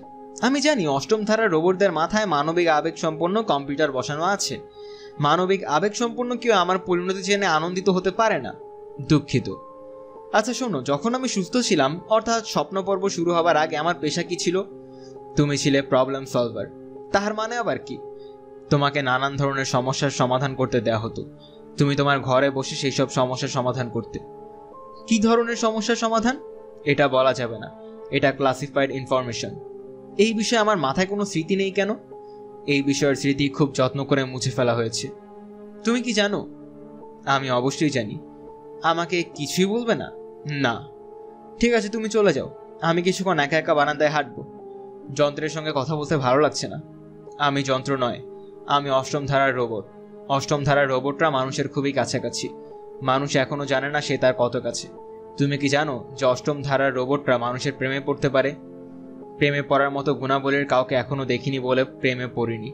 দেখলে হয়তো ছপ করে প্রেমে পড়ে যাব। তবে তোমার প্রতি আমার খুবই করুণা হচ্ছে, মায়া হচ্ছে। ঠিক আছে। এখন যাও। শেফ চলে যেতে গিয়েও ফিরে এসে বলল, তোমাকে এতক্ষণ মিথ্যা কথা বললাম। আমার ধারণা অন্য কিছু। তুমি যখন অস্থির বোধ করো আমি অস্থির বোধ করি এবং আমার সারাক্ষণই তোমার আশেপাশে থাকতে ইচ্ছা করে। তুমি আমাকে চলে যেতে বলায় আমার খুবই খারাপ লাগছে। বিদায় হও। প্লিজ বিদায় হয়ে যাও। শান্তিকোনা স্কুলের হেডমাস্টার বাবু পরিমল চন্দ্রের মুখে হাসি। তার অঙ্ক খেলা যে এত জমে যাবে তিনি ভাবেননি। প্রথমে ভেবেছিলেন অঙ্ক খেলার আয়োজন করা হবে স্কুলের কমন রুমে। সকাল থেকে মানুষের সমাগম থেকে রেখে খেলাটা তিনি স্কুলের মাঠে নিয়ে এসেছেন। তিনটা ব্ল্যাকবোর্ড আনা হয়েছে, প্রতিটি বোর্ড ভর্তি অঙ্ক। সবই বড় বড় সংখ্যার গুণ ভাগ। ব্ল্যাকবোর্ডগুলি পর্দা দিয়ে ঢাকা। স্কুলের ঘণ্টা বাজানো হবে, তখনই পর্দা সরানো হবে। শুরু হবে অঙ্ক খেলা। রফিক অঙ্ক করবে মুখে মুখে, বাকি পাঁচজন করবে ক্যালকুলেটর দিয়ে, দুজন করবে লক টেবিল দিয়ে। অঞ্চলের গণ্যমান্যদের দাওয়াত দেওয়া হয়েছিল, তারা সবাই এসেছেন। শান্তিকোনা থানার ওসি সাহেব ও সিভিল ড্রেসে এসেছেন। পোস্টমাস্টার সাহেব এসেছেন। ব্র্যাক নামের এনজিওর লোকজনও আছেন। তারা অবশ্যই যেখানেই জনসমাগম হয়, সেখানেই থাকেন। শান্তিকোনা ইউনিয়নের চেয়ারম্যান সাহেব এসেছেন। চেয়ারম্যান সাহেবের সঙ্গে তার বড় মেয়ের জামাই এসেছে। এই ভদ্রলোক ঢাকা বিশ্ববিদ্যালয়ের পদার্থবিদ্যার শিক্ষক। গত বছর বিশ্ববিদ্যালয়ে জয়েন করেছেন। তিনি শ্বশুরবাড়িতে বেড়াতে এসেছিলেন। শ্বশুর সাহেব জামাইকে নিজের প্রভাব প্রতিপত্তি দেখাতে এনেছেন। এই সঙ্গে কিছু মজা যদি পায়, তাতেই বা ক্ষতি কি? বাবু পরিমল চন্দ্রের মুখ হাসি হাসি হলেও একটু শঙ্কিত বোধ করছেন। তার শঙ্কার কারণ খেলা ঠিকমতো জমবে তো। তিনি শুধু লোক মুখে শুনেছেন, রফিক বড় বড় অঙ্ক মুখে মুখে করতে পারে। বাস্তবে পরীক্ষা কখনো করা হয়নি। বাবু পরিমল চন্দ্রের শঙ্কার আরেকটা কারণ হলো অঞ্চলের বিশিষ্টজনরা এসেছেন। তাদের সম্মানে চা নাস্তার ব্যবস্থা থাকা উচিত ছিল। চায়ের ব্যবস্থা হয়েছে, নাস্তার আয়োজন এখনও কিছু হয়নি। স্কুলের ইমার্জেন্সি ফান্ড থেকে দুশো টাকা নিয়ে স্কুলের দপ্তরিকে বাজারে পাঠানো হয়েছে নিমকি মিষ্টি আনার জন্য। এটা নিয়েও পরে নিশ্চয়ই ঝামেলা হবে। স্কুল বোর্ডের সভায় তাকে প্রশ্ন করা হবে ইমার্জেন্সি ফান্ডের টাকা, অঙ্ক খেলার মতো ফালতু বিষয়ে তিনি কেন খরচ করলেন? এমনিতেই স্কুল ফান্ডে কোনো টাকা পয়সা নেই। বিকাল চারটায় খেলা শুরু হবার কথা। চারটার আগেই মাঠ ভর্তি হয়ে গেল। শান্তিকোনা ইউনিয়ন কাউন্সিলের চেয়ারম্যান জালাল সাহেবকে সভাপতির আসনে বসানো হয়েছে। তার ভাবভঙ্গি দেখে বোঝা যাচ্ছে তিনি দীর্ঘ বক্তৃতা দেবেন। দীর্ঘ বক্তৃতা দেবার আগে তার চোখ ঘোলাটে হয়ে যায়। এখনও তাই হয়েছে। তিনি আগে বিএনপি করতেন, আওয়ামী লীগ ক্ষমতায় যাওয়ার পর আওয়ামী লীগে যোগ দিয়েছেন। হিন্দু মুসলমান হলে যেমন যে কোনো গরু দেখলে গরুর পিঠে থাবা দিয়ে জিজ্ঞেস করে এর গোস্ত খেতে কেমন হবে, ওনারও সেই অবস্থা হয়েছে। তিনি যে কোনো উপলক্ষেই জ্বালাময়ী আওয়ামী বক্তৃতা দেন। অঙ্ক খেলাতেও তিনি এই কাণ্ড করবেন। জালাল সাহেব হাতের ইশারায় পরিমল বাবুকে ডেকে নিচু গলায় বললেন শুরু করছে না কেন? এক্ষুনি শুরু হবে, স্যার। আমার ভাষণটা শুরুতে দিয়ে দিই। আপনি সভাপতি, আপনি বলবেন সবার শেষে। শেষ তো লোক থাকবে না। ফাঁকা মাঠে ভাষণ দিয়ে লাভ কি? ভাষণ তো মাঠের জন্য না, মানুষের জন্য। লোক থাকবে, কেউ যাবে না। মাইকের ব্যবস্থা রাখেন নাই কেন? খালি গলায় ভাষণ ভালো হয় না। সব কিছুরই দস্তর আছে। আগরবাতি ছাড়া যেমন মিলাদ হয় না, মাইক ছাড়া ভাষণ হয় না। যান, চট করে মাইক আনার ব্যবস্থা করেন। পরিমলবাবু মাথা চুলকাতে লাগলেন। জালাল মাস্টার বিরক্ত মুখে বললেন, নিউ স্টার থেকে মাইক নিয়ে আসেন, খরচ আমি দেব। খেলা শেষে পুরস্কারের ব্যবস্থা আছে? জি না, এটা কেমন কথা? আমার ভাষণের শেষে পুরস্কার বিতরণ। পুরস্কারের কোনো ব্যবস্থা রাখা হয়নি। আমার তরফ থেকে পুরস্কার, সিলভার মেডেল। একজন কাউকে আমার বাড়িতে পাঠায় দেন। অনেক সিলভার মেডেল তৈরি করে রেখেছি। একটা যেন নিয়ে আসে। জি আচ্ছা। একটা খেলার আয়োজন করেছেন, কিন্তু অবস্থা অতি দুর্বল। আমি আবার জামাইকে সঙ্গে নিয়ে এসেছি। জামাইয়ের সামনে এমন বিজ্যোতি ব্যবস্থা করবেন না। সভাপতিকে ফুলের মালা দিতে হয়। সাধারণ নিয়ম, ফুলের মালা কোথায়? স্যার, ব্যবস্থা করছি। কাগজের মালা যেন না হয়। কাগজের মালা দেওয়া হয় কোরবানির গরুর গলায়। খেলার বিচারক কারা? আমার জামাইকে বিচারক মণ্ডলীর প্রধান করে দিন। সে ফিজিক্সের শিক্ষক। অঙ্কের বিচারক হওয়ার মতো যোগ্যতা আর কারণ নেই। ঠিক বললাম না? অবশ্যই, স্যার। ইয়াসিন সাহেবকেও দেখি খবর দিয়েছেন। তাকে আবার যেন মঞ্চে ডাকবেন না। ইয়াসিন সাহেবের সঙ্গে আমি এক মঞ্চে বসি না। ওনাকে ডাকবো না।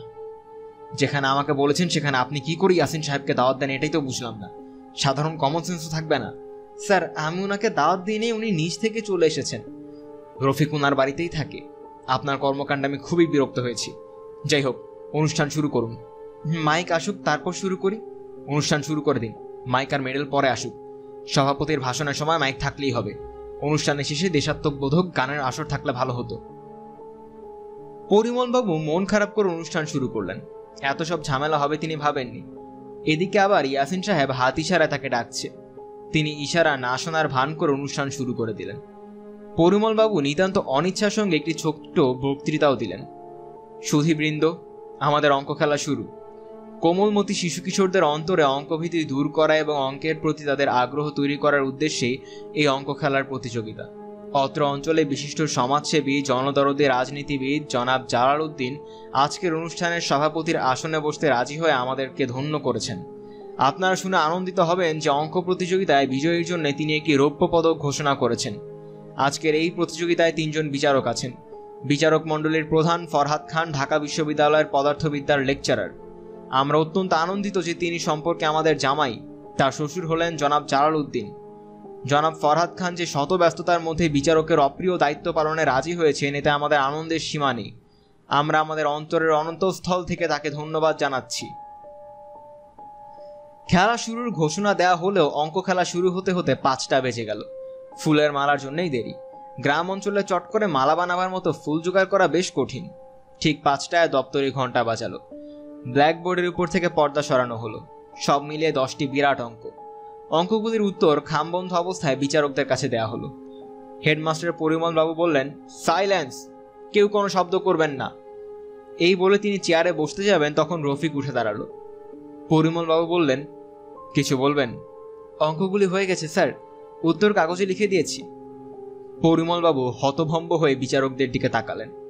দুই মিনিটই পার হয়নি, এর মধ্যে অঙ্ক হয়ে গেছে বলেছে এর মানে কি? কোনো ফাজলামি না তো? বিচারকদের কাছে কাগজ দেওয়া হলো। ফরহাদ খান কাগজ দেখলেন, খামবন্ধ উত্তর দেখলেন, অবিশ্বাসের চোখে পরিমলবাবুর দিকে তাকালেন।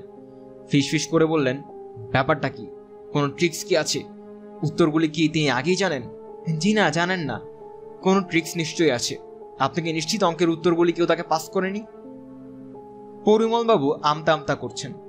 ফরহাদ খান বললেন, অঙ্ক খেলাটা আরেকবার হোক। এবার একটাই অঙ্ক থাকবে, আমি সেই অঙ্ক বোর্ডে লিখব। ঘড়ি ধরে থাকব। দেখি তিনি মুখে মুখে সমাধান করতে পারেন কিনা। আর যদি পারেনও, তাহলে কতক্ষণে পারেন? পুরো বোর্ড জুড়ে বিশাল একটা সরল অঙ্ক লেখা হলো। সেখানে গুণ, ভাগ, যোগ, বিয়োগ সবই আছে। বোর্ডের উপর থেকে পর্দা সরানো হলো। ফরহাদ খান ঘড়ি ধরে থাকলেন। রফিক উত্তর দেবার জন্য সময় নিল একুশ সেকেন্ড। বাবু পরিমলচন্দ্র দুশ্চিন্তাগ্রস্ত হয়ে পড়লেন। অনুষ্ঠান শুরু হতে না হতে শেষ।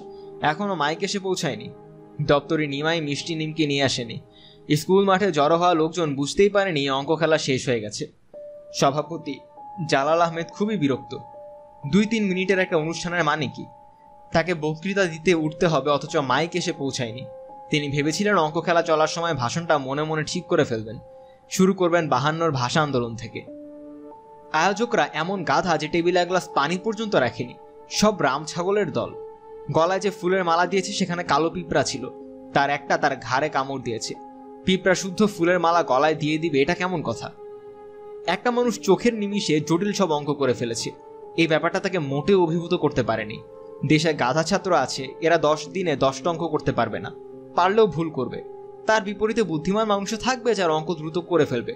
তাতে অবাক হবার কি আছে? রফিক অঙ্কগুলি করেছে চোখ খোলা রেখে। তিনি যুবক বয়সে ময়মনসিংহ টাউন হলে একবার ম্যাজিক দেখেছিলেন। সেখানে ম্যাজিশিয়ান চোখ বন্ধ অবস্থায় বোর্ডে লেখা বিরাট অঙ্ক করে ফেলত।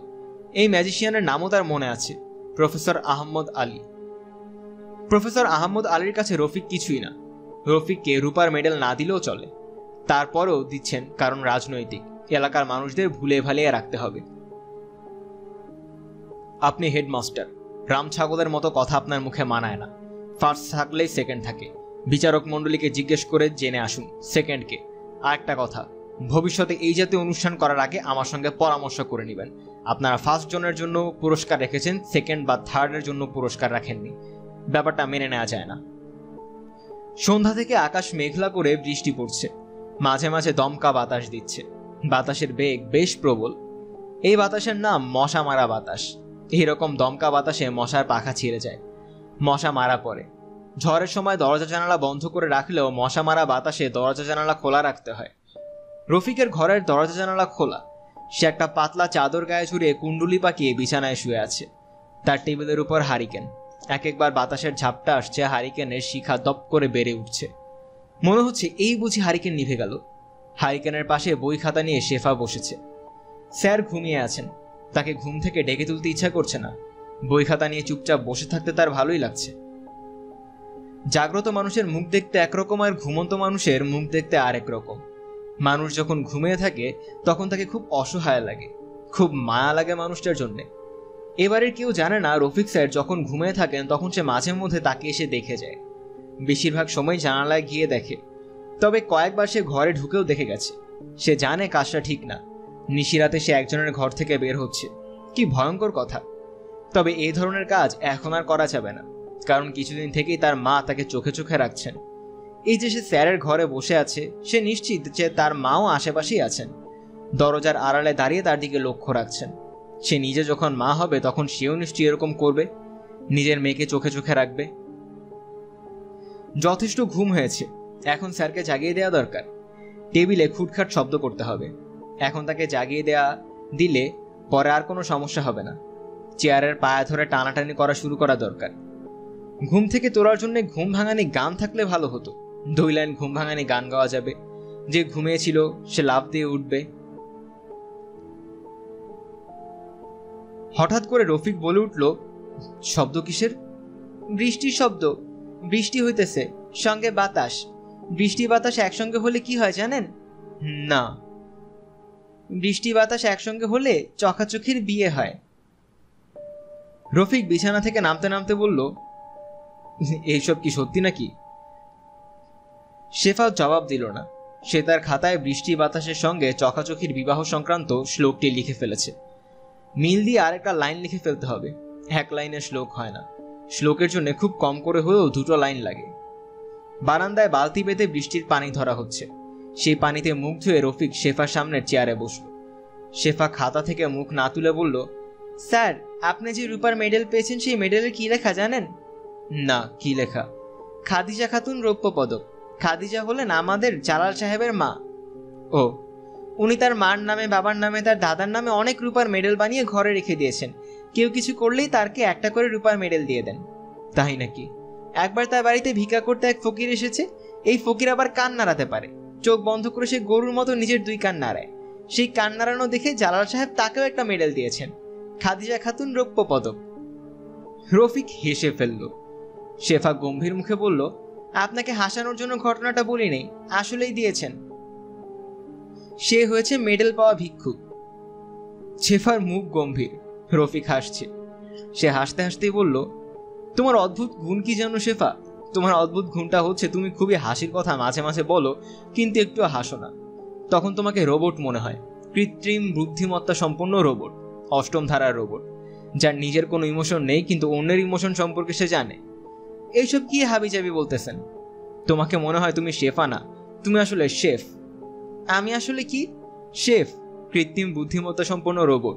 তোমার মাথায় ব্রেইনের বদলে আছে কোপোটন মাঝে মাঝে আপনি পাগলের মতো কথা বলেন। মাঝে মাঝে আপনাকে পাগল মনে হয়। তোমার কাছে মনে হয় আমি পাগল? সবসময় মনে হয় না, মাঝে মাঝে মনে হয়। একদিন দুপুরবেলা আপনি ঘুমাচ্ছেন, আমি কি কাজে যেন আপনার ঘরে ঢুকেছি। ও আচ্ছা মনে পড়েছে, টেবিলের উপর অঙ্কের বইটা ফেলে গিয়েছিলাম। সেই বই নিতে গিয়েছি। হঠাৎ তাকিয়ে দেখি আপনি ঘুমের মধ্যে ছটফট করছেন। একবার এই পাশ আরেকবার ও পাশ আপনার কপালে ঘাম আর ভিড় করে কি কথাও বলছেন? কি কথা? কি কথা তা তো বলতে পারব না। আমি তো আর কথা শোনার জন্য আপনার কাছে চাই নাই। অঙ্কের বই নেওয়ার জন্য গিয়েছিলাম। যে কথা শুনেছিলে তার একটা দুটো শব্দ কি মনে নেই? না। আবার যদি কখনো এরকম দেখো, মন দিয়ে শুনবে। আমি ঘুমের মধ্যে কি বলছি মনে রাখার চেষ্টা করবে। আচ্ছা। কথাবার্তার এই পর্যায়ে দমকা বাতাস হলো। হারিকেন নিভে গেল। শেফা মনে মনে বলল, বাতি নিভেছে বেশ হয়েছে অন্ধকারে ভালো। এই অন্ধকারে হাত বাড়ালে মানুষটাকে ছোঁয়া যাবে। মানুষটা ভাবতেও পারবে না এই কাজটা শেফা ইচ্ছে করে করেছে। শেফা এমন কোনো খারাপ মেয়ে না যে ইচ্ছে করে পুরুষ মানুষ ছুঁয়ে দেবে। কিন্তু খারাপ মেয়ে হাতি হতে ইচ্ছা করছে। শেফার খানিকটা কান্না পেয়ে গেল। তার কি কোনো অসুখ করেছে? খারাপ ধরনের কোনো অসুখ? যে অসুখে মানুষকে ছুঁয়ে দেখতে ইচ্ছে করে, শেফা খুবই আশ্চর্য বোধ করছে। ঘরে এতক্ষণ হলো বাতি নেই, অথচ তার মা ছুটে আসছে না। জ্বলন্ত হারিকেন নিয়ে তার মার তো ইতিমধ্যেই ছুটে চলে আসার কথা। বিদ্যুৎ চমকালো। শেফা বিদ্যুতের আলোয় দেখল মানুষটা মাথা নিচু করে বসে আছে। মনে হচ্ছে কোনো কিছু নিয়ে মানুষটা চিন্তিত। তার এত কিসের চিন্তা? এই পৃথিবীতে চিন্তা করে কিছু হয় না। যা হবার তা চিন্তা করলেও হবে, চিন্তা না করলেও হবে। তার কথাই ধরা যাক না কেন। সে জানে সে মেট্রিক পাশ করতে পারবে না। খুব কম করে হলেও তিনটা বিষয়ে ফেল করবে। তার জন্য সে তো গালে হাত দিয়ে চিন্তা করতে বসেনি। চিন্তা করলে যদি পাশ হতো, তাহলে ঠিকই চিন্তা করত। আলো হাতে কে যেন আসছে। শেফা ছোট্ট করে নিঃশ্বাস ফেলল। অনেকক্ষণ সে অন্ধকারে ছিল, এর মধ্যে হাত বাড়িয়ে একটু ছুঁয়ে ফেললেই হতো। এরকম কি আর কখনো হবে? আর কখনো কি হারিকেন নিভে যাবে? শেফার কান্না পাচ্ছে। সে দাঁত দিয়ে ঠোঁট কামড়ে কান্না চাপার চেষ্টা করছে। কান্না এমনই জিনিস যে চাপার চেষ্টা করলে কান্না বেড়ে যায়। আমেনা বেগম হাক হারিকেন হাতে ঘরে ঢুকেই তীক্ষ্ণ দৃষ্টিতে মেয়ের দিকে তাকিয়ে রইলেন। তারপর তাকালেন রফিকের দিকে। শান্ত গলায় বললেন, রফিক, তোমার খোঁজে কে জানি আসছে? বাংলা ঘরে বসছে। রফিক সঙ্গে সঙ্গে উঠে দাঁড়াল। আমেনা বেগম বললেন, তোমার চাচা মাগরেবের ওয়াক্তে তোমার খোঁজ করছিলেন।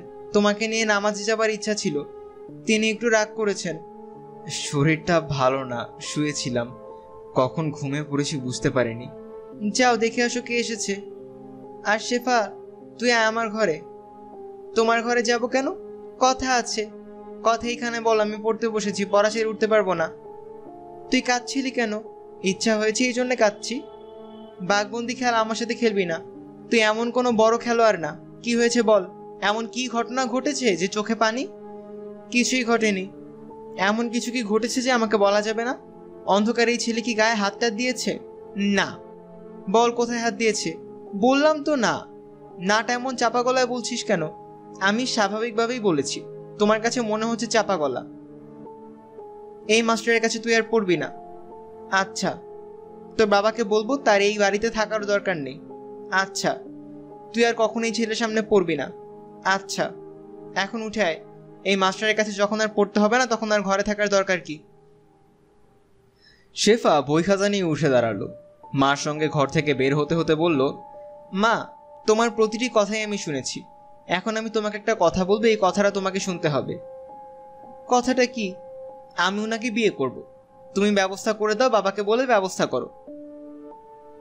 আমেনা বেগম অবাক হয়ে মেয়ের দিকে তাকিয়ে আছেন। কি বলবেন বুঝতে পারছেন না। তিনি একটু আগে মেয়েকে বলেছেন সে কোনো বড় খেলোয়াড় না। এখন মনে হচ্ছে এই মেয়ে অনেক বড় খেলোয়াড়। এই মেয়ের সঙ্গে বাঘবন্দি খেলা যাবে না। শেফা হঠাৎ অতি নাটকীয়তা এক কাণ্ড করে বসল। হাত থেকে বই খাতা ফেলে ধপ করে বসে পড়ে মার পা জড়িয়ে ধরলো। পায়ের পাতায় মুখ ঘুষতে ঘুষতে বলল, তুমি আমাকে বাঁচাও। উনাকে বিয়ে না করতে পারলে কিন্তু আমি মরে যাব। রফিকের সাথে দেখা করতে এসেছেন জালাল সাহেবের জামাই ফরহাদ খান। ফরহাদ খান একা আসেনি, তার সঙ্গে তিনজন আছে। একজনের হাতে হারিকেন, অন্য দুজন খালি হাতে থাকলেও তাদের গায়ের চাদরের নিচে কিছু একটা আছে। জালাল খান নিজে কখনো বডিগার্ড ছাড়া চলাফেরা করেন না। জামাইয়ের ক্ষেত্রেও সেই ব্যবস্থা রেখেছেন। অস্ত্রধারী দুজন বাংলা ঘরের বারান্দায় হাঁটাহাঁটি করছে। বাংলা ঘরে চেয়ার টেবিল আছে, এক পাশে পাটি পাতা খাটও আছে। রফিক বসে আছে খাটে। ফরহাদ খান একটি চেয়ার টেনে তার মুখোমুখি বসেছেন। ফরহাদ খানের হাতে কিছু কাগজপত্র এবং কলম। ফরহাদ খানের সঙ্গে আসা হারিকেনধারীও ঘরে আছেন। সে তার হারিকেন হাতছাড়া করেনি। হারিকেন উঁচু করে ধরেছে যাতে হারিকেনের আলো রফিকের মুখে পড়ে। এই হারিকেন ছাড়াও ঘরে আরও একটা হারিকেন আছে। বাংলা ঘরের টিনের চালে বৃষ্টির শব্দ হচ্ছে। ফরহাদ খান উঁচু গলায় কথা বলেছেন। রফিক নিচু স্বরে জবাব দিচ্ছে বলে ফরহাদ সাহেবকে উত্তর শোনার জন্য প্রতিবারই ঝুঁকে কাছে আসতে হচ্ছে। রফিক সাহেব, কেমন আছেন? জি, ভালো। আজ আপনার অঙ্ক করা দেখলাম। বিস্মিত হয়েছি বললে কম বলা হবে। কনফিউশনগুলি দূর করতে এসেছি। আপনাকে কিছু প্রশ্ন করব, আপনি কি জবাব দেবেন? হ্যাঁ। একটু তাকান সংখ্যাটির দিকে। রফিক তাকালো, কাগজে লেখা আট সাত নয় শূন্য শূন্য চার দুই এক ছয় সাত তিন। ফরহাদ খান কাগজটা ভাঁজ করে পকেটে রাখতে রাখতে বললেন সংখ্যাগুলিকে আপনার মুখস্থ হয়ে গেছে? জি, হয়েছে। এক থেকে নয়ের ভেতরে একটা ডিজিট এখানে নেই। সংখ্যাটা কি? পাঁচ। সংখ্যাগুলি উল্টালে কত হবে? তিন সাত ছয় এক দুই চার শূন্য শূন্য নয় সাত আট। এর বর্গমূল কত হবে? মূল সংখ্যাটার, উল্টানোরটা না। এর বর্গমূল এক নয় তিন নয় তিন নয়, দশমিক এক ছয় আট দুই। ঘনমূল বলতে পারবেন? ঘনমূল জানেন তো? জি, জানি। এর ঘনমূল হল তিন তিন পাঁচ শূন্য দশমিক পাঁচ শূন্য পাঁচ ছয়। রফিক সাহেব, আপনি যে একজন বিস্ময়কর মানুষ তাকে আপনি জানেন? জি, জানি। আপনার পড়াশোনা কি? আমি বিএসসি পাশ করেছি। রেজাল্ট কি ছিল? ভালো ছিল না সেকেন্ড ডিভিশন এখন করছেন কি? আমি মুলারদি গার্লস হাই স্কুলে পার্ট টাইম অঙ্ক করাই। আপনি, আপনার কি কোনো ছবি আছে? পাসপোর্ট সাইজ দুটো ছবি আছে। আপনি একটা ছবি আমাকে দেবেন? আমি আপনাকে নিয়ে একটা আর্টিকেল লিখে ভোরের কাগজে দেব। আচ্ছা। শুরুতে আপনাকে যে সংখ্যাগুলি দিয়েছিলাম সেগুলি কি আপনার মনে আছে? জি, মনে আছে। আট সাত নয় শূন্য শূন্য চার দুই এক ছয় সাত তিন। এই সংখ্যাগুলোর একটা বিশেষত্ব আছে, সেটা বলতে পারবেন? এর কোনো বিশেষত্ব নেই, এটা মৌলিক সংখ্যা না। তিন দিয়ে ভাগ করা যায়। ফরহাদ খান নিজের বিস্ময়বোধ চাপা দেবার জন্য সিগারেট ধরালেন। ভেতরের বারান্দায় ইয়াসিন সাহেব তামাক খাচ্ছিলেন। তিনি বাংলা ঘরের বারান্দায় হাঁটাহাঁটিতে ব্যস্ত দুই বডিগার্ডকে ডেকে পাঠিয়েছেন। তারা ভীত মুখে সামনে দাঁড়িয়ে, তোমরা আছো কেমন? যেমন দোয়া করছেন উল্টাপাল্টা কথা বলবা না। তোমাদের জন্য আমি দোয়া করব কি জন্যে? ভালো কথা, গরমের মধ্যে চাদর গায়ে কেন? শরীরটা খারাপ। দুইজনেরই একসঙ্গে শরীর খারাপ। তারা জবাব দিল না। ইয়াসিন সাহেব নীরবে কিছুক্ষণ তামাক টানলেন। তারপর হুক্কার নল নামিয়ে সহজ গলায় বললেন, তোমাদের চাদরের নিচে কি আছে আমি জানতে চাই না। তোমরা যে চাদরের নিচে জিনিস নিয়ে আমার সাথে দেখা করতে এসেছ, এতে আমি বড় অবাক হয়েছি। তোমরা উঠানে বৃষ্টির মধ্যে দাঁড়াও, কান ধরে পঞ্চাশ বার উঠবস করো। যাও। এতে যদি আমার রাগ কমে তো কমলো, না কমলে অন্য ব্যবস্থা নিতে হবে। তারা কোন রকম আপত্তি করল না। উঠোনে নেমে উঠবস শুরু করল। ইয়াসিন সাহেব অন্দরে ঢুকলেন। জালাল সাহেবের জামাই এসেছেন, বিশিষ্ট মেহমান। জালাল সাহেবের জামাই মানে এই অঞ্চলের জামাই। তার মর্যাদাই অন্যরকম। কাজেই নতুন জামাইয়ের আপ্যায়নের সুব্যবস্থা করা প্রয়োজন। আমেনা বেগম আজ রাতে স্বামীর সঙ্গে ঘুমোতে এসেছেন। সপ্তাহে একদিন তিনি স্বামীর সঙ্গে ঘুমাতে আসেন। আজ সপ্তাহে সেই দিন না। ইয়াসিন ভুরুকুচকি স্ত্রীর দিকে তাকালেন। আমেনা বেগম লজ্জিত গলায় বললেন, শেফা বলেছে আজ সে একা ঘুমাবে। ও। বলেই তিনি পাশ ফিরলেন। ঘুমোবার চেষ্টা করা উচিত। তার মাথা আজ কিঞ্চিত উত্তেজিত। জালাল সাহেবের দুই চাদরওয়ালাকে উদ্বস করানো হয়েছে। জালাল সাহেব এই অপমানের শোধ নিবেন। না, তা হয় না। ঘটনাটা ঘটবে। কীভাবে ঘটবে কে জানে? যেভাবেই ঘটুক, ঘটনার জন্য প্রস্তুত থাকতে হবে। ঘুমায় পড়েছেন? না, কিছু বলবা? শেফার মাস্টারের বিষয়ে দুটো কথা ছিল। কি কথা? ছেলেটার আমার বড়ই পছন্দ। বাপ মা মরা ছেলে, দেখলেই আদর লাগে। এইসব ছেলে খুবই আদরের কাঙাল হয়। ছেলের আদব লেহাজ ভালো। কথা যা বলবা, পরিষ্কার করে বলবা। প্যাচ দেওয়া বলবা না। প্যাচের কথা আমার ভালো লাগে না। ঘটনা কি? কোনো ঘটনা না। এই ছেলের সাথে কন্যার বিবাহ দিতে চাও? বিবাহ হলে খুবই ভালো হয়। ছেলেটারে আমার খুব পছন্দ। চেহারা ছবিও ভালো। ঠিক করে বলো। ছেলে তোমার পছন্দ নাকি কন্যার পছন্দ? আমার খুব পছন্দ। শেফাও তারে ভালো লাগে। আমেনা জি। আমার সাথে প্যাচ খেলবা না। আমি সোজা সরল মানুষ। ঘটনা কি পরিষ্কার করে বলো। কোনো ঘটনা না। আমি প্রশ্ন করতেছি তুমি জবাব দাও। উল্টাপাল্টা জবাব দিবা না থাপ্পড় খেবা। মেয়ে ছেলের গায়ে হাত তোলা আমার খুবই অপছন্দ কিন্তু প্রয়োজনে হাত তুলতে হবে। উপায় কি? এখন বলো ছেলে কি তোমার না কন্যার পছন্দ? হুম। তাড়াহুড়া করে বিয়ে দিতে চাইতেছো কারণ কি? কোনো ঘটনা ঘটেছে? কোন ঘটনার কথা বলতেছি বুঝতে পারতেছো নাকি আরও খোলাসা করে বলব? না না ছি ছি। ছেলের জন্মের কোনো ঠিক নেই। এতিমখানের বড় হয়েছে এটা জানো? জানি। তার মৃগী রোগ আছে এটা জানো? তারপরেও কি করে বললে এই ছেলে তোমার খুব পছন্দ? মেয়ের মুখের দিকে তাকায় বলছি মেয়ে দেওয়ানা হইছে। বুঝ দিলে বুঝ মানবে? না। এই অবস্থা? জি। কোনো ঘটনা ঘটনায় তুমি নিশ্চিত? জি। ঠিক আছে আমি ব্যবস্থা নিতেছি। দুশ্চিন্তা করার কিছু নেই। আমেনা বেগম ভয়ে ভয়ে ভাবলেন, কি ব্যবস্থা নেবেন? আমি কি ব্যবস্থা নেই সেটা আমার বিষয়। এই বিষয়ে জিজ্ঞাসাবাদ আমার পছন্দ না। আমার সঙ্গে যে তোমার কথা হয়েছে এটাও শেফাকে বলবা না। সে যেন কিছু না জানে। আচ্ছা আপনি ছেলেটারে অন্য কোথাও চলে যেতে বললেন? চলে যেতে বলে লাভ হবে না। তোমার কন্যা তাকে খুঁজে বের করবে। তোমার কন্যার মনের অবস্থা আমি তোমার আগেই টের পেয়েছি। তোমার কিছু বলি নেই। এক এক রোগের এক এক চিকিৎসা। জ্বর হলে মাথায় পানি ঢালতে হয়। শরীর পচন ধরলে পচা অংশ ফেলে দেওয়া লাগে। এইটাই নিয়ম।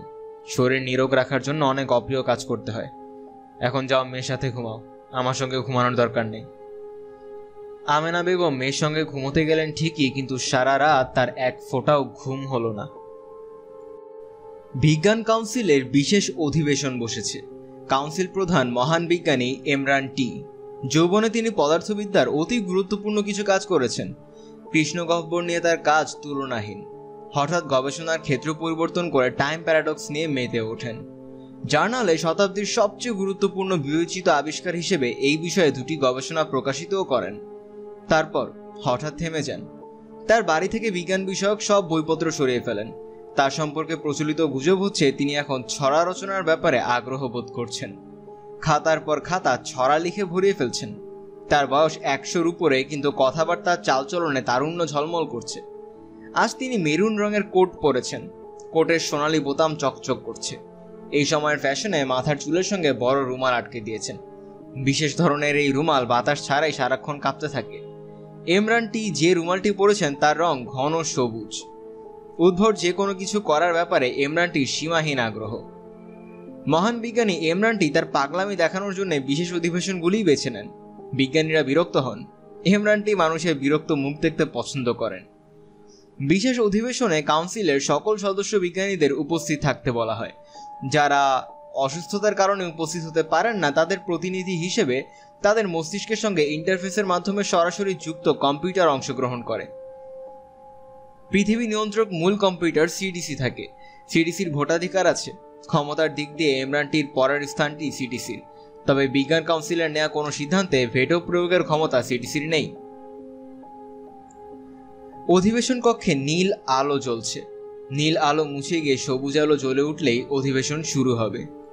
নীল আলো হলো প্রস্তুতিমূলক আলো। বিজ্ঞানীরা তাদের কাগজপত্র গুছিয়ে নেবেন।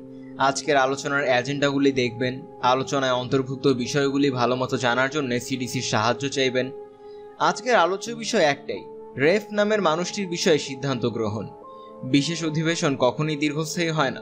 সিদ্ধান্ত গ্রহণ বিষয়ক অধিবেশনে সময় খুব কম লাগে। সিদ্ধান্ত গ্রহণের দায়িত্ব সিডিসির উপর দিয়ে দেওয়া হয়। মানুষ অতি সাধারণ সিদ্ধান্ত চট করে নিতে পারে না। কম্পিউটার সেটা পারে। এমরানটি তার মাথার সবুজ রুমাল নিয়ে বিব্রত হয়ে পড়েছেন বলে মনে হচ্ছে। তিনি টুপিটা একবার এদিক পড়ছেন, আরেকবার অন্যদিকে পড়ছেন। এমরানটির পাশের চেয়ারে সিডিসি বসে আছে। সিডিসিকে দেখে বোঝার কোনো উপায় নেই যে সে মানব সম্প্রদায়ের কেউ না। গত একশো বছরে রোবট প্রযুক্তির সীমাহীন উন্নতি হয়েছে। সিডিসি দশম ধারার রোবটের মাধ্যমে আলোচনায় অংশ নিচ্ছে। এল এফ সিরিজের সব রোবটই মানুষের মতো। ম্যাগনেটিক ফিল্ড ডিটেক্টর ছাড়া এই সিরিজের রোবটদের মানুষদের কাছ থেকে আলাদা করার কোনো উপায় নেই। সিডিসি শান্ত ভঙ্গিতে বসে আছে। এমরানটির রুমাল নিয়ে বারাবারের দৃশ্যটি মাঝে মাঝে দেখছে। তখনই তার ভুরু কুচকে যাচ্ছে। এমরানটি বললেন, সিডিসি, আমার রুমালের রংটা মনে হয় তোমার পছন্দ হচ্ছে না। তুমি যতবারই আমাকে দেখছ, ততবারই ভুরু কুচকাচ্ছ। আপনার রুমালের রং চমৎকার। যদিও এই রঙের রুমাল কিশোরীরা ব্যবহার করে, তাতে আমি আমার দিক থেকে অন্য কোনো সমস্যা দেখি না। তাহলে তুমি ভুরু কুচকাচ্ছ কেন? অন্য বিজ্ঞানীদের প্রায় সবাই আপনার দিকে তাকিয়ে ভুরু কুচকাচ্ছেন। আমি তাদের অনুকরণ করছি, এর বেশি কিছুই না। তুমি অনুকরণ করছ কেন? বাহ্যিক আচার আচরণে মানুষকে অনুসরণ করার জন্য একটি সফটওয়্যার আমার মধ্যে আছে। মানুষের কাছাকাছি যেতে হলে তাকে অনুকরণ করতেই হবে। খুব ভালো। আপনি কি সফটওয়্যারটির বিষয়ে জানতে চান? না। অর্থহীন সফটওয়্যার নিয়ে আমার আগ্রহ নেই। রুমালের রং কি সত্যি তোমার পছন্দ হয়েছে? হ্যাঁ হয়েছে। অন্যদের পছন্দ হচ্ছে না কেন? আপনি কি সত্যি জানতে চান? জানতে চাইলে কারণগুলি বলতে পারলে তবে আমার মনে হচ্ছে না কারণ জানার ব্যাপারে আপনি আগ্রহী। তুমি ঠিকই বলেছ, আমি আগ্রহী না। মহামতি ইমরান, আপনি কি কোনো অজানা কারণে খুবই দুশ্চিন্তাগ্রস্ত? আমি হাসছি মাথার রুমাল নিয়ে খেলছি। তারপরও তোমার কেন মনে হলো আমি দুশ্চিন্তাগ্রস্ত? আপনার হাসি খুশির মধ্যে মেকি অংশ আছে বলেই বলছি, আপনি হাঁ করে নিঃশ্বাস নিচ্ছেন। উপস্থিত বিজ্ঞানীদের দিকে একবারও তাকাচ্ছেন না, কারও চোখে চোখ পড়া মাত্রই চোখ ফিরিয়ে নিচ্ছেন। আপনার চোখের পাতা যেভাবে পড়ে, তার চেয়ে ত্রিশ ভাগ দ্রুত পড়ছে। আপনার শারীরবৃত্তীয় কর্মকাণ্ড আমি যতটুকু জানি, তা থেকে সিদ্ধান্তে আসা যায় যে আপনি খুবই দুশ্চিন্তাগ্রস্ত। টুন করে ঘণ্টাধ্বনির মতো শব্দ হলো। হল ঘরে নীল আলো সবুজ হয়ে গেল। ইমরান টি মাথার রুমাল ঠিক করতে করতে বললেন, বিজ্ঞান কাউন্সিলের বিশেষ অধিবেশন শুরু হচ্ছে। এ বছরের দ্বিতীয় বিশেষ অধিবেশন। কাউন্সিলের একশো সদস্যের সবাই সশরীরে উপস্থিত। এটি আনন্দময় ঘটনা। আমি সিডিসিকে এখন বিশেষ অধিবেশনের কারণ ব্যাখ্যা করতে অনুরোধ করছি। সিডিসি সামান্য হাসলো। অবিকল মানুষদের মতো নার্ভাস ভঙ্গিতে কয়েকবার কাশলো।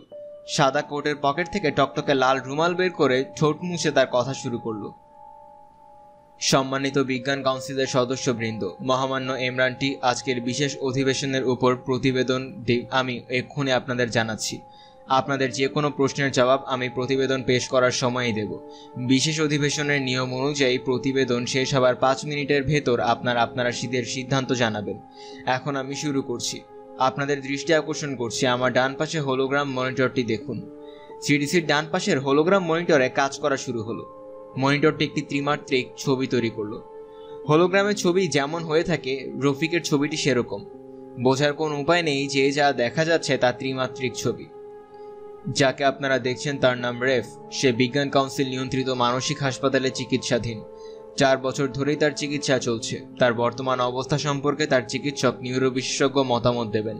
তিনি তার বক্তব্য দেবেন হলোগ্রাম মনিটরের মাধ্যমে। তাকে কোনো প্রশ্ন করা যাবে না। রফিকের ছবি মুছে গেলে সেখানে প্রফেসর বার্নকে দেখা গেল। হাসি খুশি একজন বৃদ্ধ। নিজের খাস কামরায় বসে আছেন। হাতে কফির মগ। রেফকে চার বছর আগে বিশেষ ব্যবস্থাধীনে বিজ্ঞান কাউন্সিল নিয়ন্ত্রিত স্যানিটোরিয়ামে ভর্তি করা হয়। কাউন্সিলের নির্দেশে আমাকে এই রোগের প্রতি বিশেষ নজর রাখতে হয়। রোগী এক বিচিত্র স্নায়ু বৈকল্যে ভুগছে। এই স্নায়ু বৈকল্যের লক্ষণ হলো স্থান, কাল, সম্পর্কিত ভ্রম। রোগী কখনো ভাবছে সে এখানে আছে, আবার কখনো ভাবছে এখানে নয়, অন্য কোথাও বাস করছে। সাইকোডেলিক ড্রাগ যেমন এলএসডি গোদ্র ড্রাগে এ ধরনের অবস্থার সৃষ্টি হয়, তবে সেই অবস্থা স্থায়ী হয় না। রক্তের ড্রাগের মাত্রা কমে গেলে রোগী স্বাভাবিক অবস্থায় ফিরে আসে। চিকিৎসায় এই রোগ আরোগ্যের কোনো আশা নেই। রোগীর বিষয়ে এর চেয়ে বেশি বলার কিছু নেই। এই স্নায়ু বৈকল্য চিকিৎসায় যেসব ড্রাগ এবং পদ্ধতি ব্যবহার করা হয়েছে, তার পূর্ণ বিবরণ file number M S zero zero one five two five PS zero zero five কিউএলপিতে দেওয়া আছে। যারা আগ্রহী, তারা ফাইল দেখতে পারেন। হোলোগ্রামের ছবি মুছে গেল। সিডিসি উঠে দাঁড়াল। সে আবারও সাদা কোটের পকেট থেকে টকটকে লাল রুমাল বের করে ঠোঁট মুছতে মুছতে বলল, রেফের মানসিক সমস্যার ধরনটা আমি সামান্য ব্যাখ্যা করি। যদিও আমি জানি ব্যাখ্যার তেমন প্রয়োজন নেই, রেফ নিশ্চিত নিশ্চিত নয় তার কোন জগৎটা সত্যি জগৎ। কখনো সে ভাবছে তার এই জগৎটা সত্যি, সে রেফ, যে রোবট তার দেখাশোনা করছে তার নাম শেফ। আবার কখনো ভাবছে সে আসলে রফিক, যে মেয়েটির সঙ্গে তার পরিচয় তার নাম শেফা। আমার যা বলার আমি বললাম, যেহেতু আপনারা কোনো প্রশ্ন করছেন না, আমি ধরে নিচ্ছি আপনাদের আর কিছু জানার নেই। কাজে এখন সিদ্ধান্ত নেবার সময়। আপনারা সিদ্ধান্ত নেবেন এই রোগীর বিষয়ে কি করা হবে। আমরা কি তার চিকিৎসা আরও চালিয়ে যাব নাকি ধ্বংস করে দেওয়া হবে? সিদ্ধান্ত নেবার জন্য আপনাদের পাঁচ মিনিট সময় দেওয়া হলো। পাঁচ মিনিট অপেক্ষা করতে হলো না। তার আগেই একশো জন বিজ্ঞানীদের সবাই বললেন, ধ্বংস করে দেওয়া হোক। কৃত্রিম বুদ্ধিসম্মতা সম্পন্ন রোবট দুজন বিপক্ষে রায় দিল। তাদের ভোটাধিকার নেই। তারা হ্যাঁ বা না বলতে পারে, তবে ভোটাভুটির মতো পরিস্থিতির সৃষ্টি হলে তাদের হ্যাঁ না বাতিল হয়ে যায়। হলঘরের সবুজ আলো নিভে গিয়ে নীল আলো চলে উঠল। অধিবেশন শেষ হয়েছে। বিজ্ঞানীরা উঠতে শুরু করবেন এমন সময় ইমরানটি উঠে দাঁড়ালেন। অধিবেশন শেষ হবার পর কিছু ধন্যবাদ সূচক কথা বলতে হয়। ইমরানটি প্রায় যন্ত্রের মতো বললেন, আপনাদের সবাইকে ধন্যবাদ। গুরুত্বপূর্ণ একটি সিদ্ধান্ত নিতে আপনারা সহায়তা করেছেন।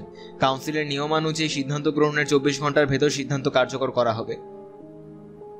কাউন্সিল সদস্যদের প্রতিনিধি উঠে দাঁড়িয়ে বললেন, আমরা কি ধরে নিতে পারি? বিশেষ অধিবেশন শেষ হয়েছে? হ্যাঁ ধরে নিতে পারেন অধিবেশন সমাপ্তির ঘোষণা অবশ্যই আমার কাছ থেকে আসবে না। এই ঘোষণা কাউন্সিলের নিয়মানুযায়ী সিডিসি দেবে। আমি সিডিসিকে অধিবেশন শেষ করার ঘোষণা দেবার জন্য অনুরোধ করছি। অধিবেশন সমাপ্তি ঘোষণার আগে আমি একটি আপাতত তুচ্ছ বিষয়ের প্রতি দৃষ্টি আকর্ষণ করছি। মহান বিজ্ঞানীদের বুঝিয়ে বলার কোনো প্রয়োজন নেই যে তুচ্ছ বিষয় মাঝে মধ্যে অনেক বড় হয়ে দেখা দেয়। উদাহরণ দিয়ে বলি, এই পৃথিবীতে অ্যাডলফ হিটলার নামের এক ব্যক্তি বহুকাল আগে দ্বিতীয় মহাযুদ্ধ শুরু করেছিলেন। মানবজাতির বিরাট একটা অংশ এই যুদ্ধে ধ্বংস হয়ে গিয়েছিল। অতি তুচ্ছ একটি কারণ ঘটিয়ে এই ভয়ঙ্কর যুদ্ধ বন্ধ করা যেত। কাউন্সিলের একজন প্রতিনিধি বললেন, তুচ্ছ কারণটা ব্যাখ্যা করুন। অসংখ্য তুচ্ছ কারণ উল্লেখ করতে পারে। যেমন ধরা যাক, যে রাতে হিটলারের বাবা এবং মার সামান্য ঝগড়া হলো হিটলারের পিতা কফি চেয়েছিলেন। সেই কফি ঠান্ডা হয় হিটলার জানক সামান্য রাগলেন। এবং রাগ নিয়ে ঘুমোতে গেলেন।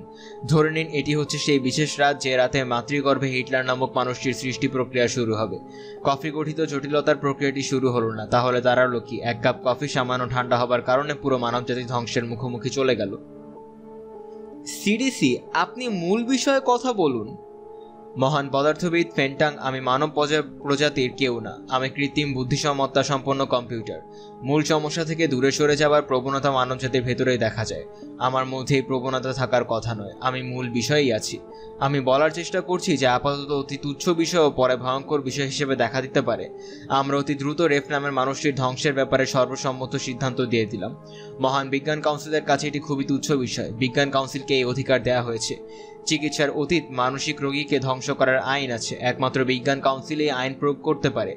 কাজেই সিদ্ধান্ত গ্রহণে আইনগত কোনো জটিলতা নেই। আমি আপনাদের মনে করিয়ে দিতে চাই যে মানব সভ্যতা শুরু থেকে মানসিক রোগীদের বিষয়ে প্রবল ভীতি কাজ করছে। এক সময় ছিল যখন তাদের পুড়িয়ে মারা হতো, আবার একটা সময় ছিল যখন তাদের বস্তায় ভরে সাগরে ডুবিয়ে দেওয়া হতো।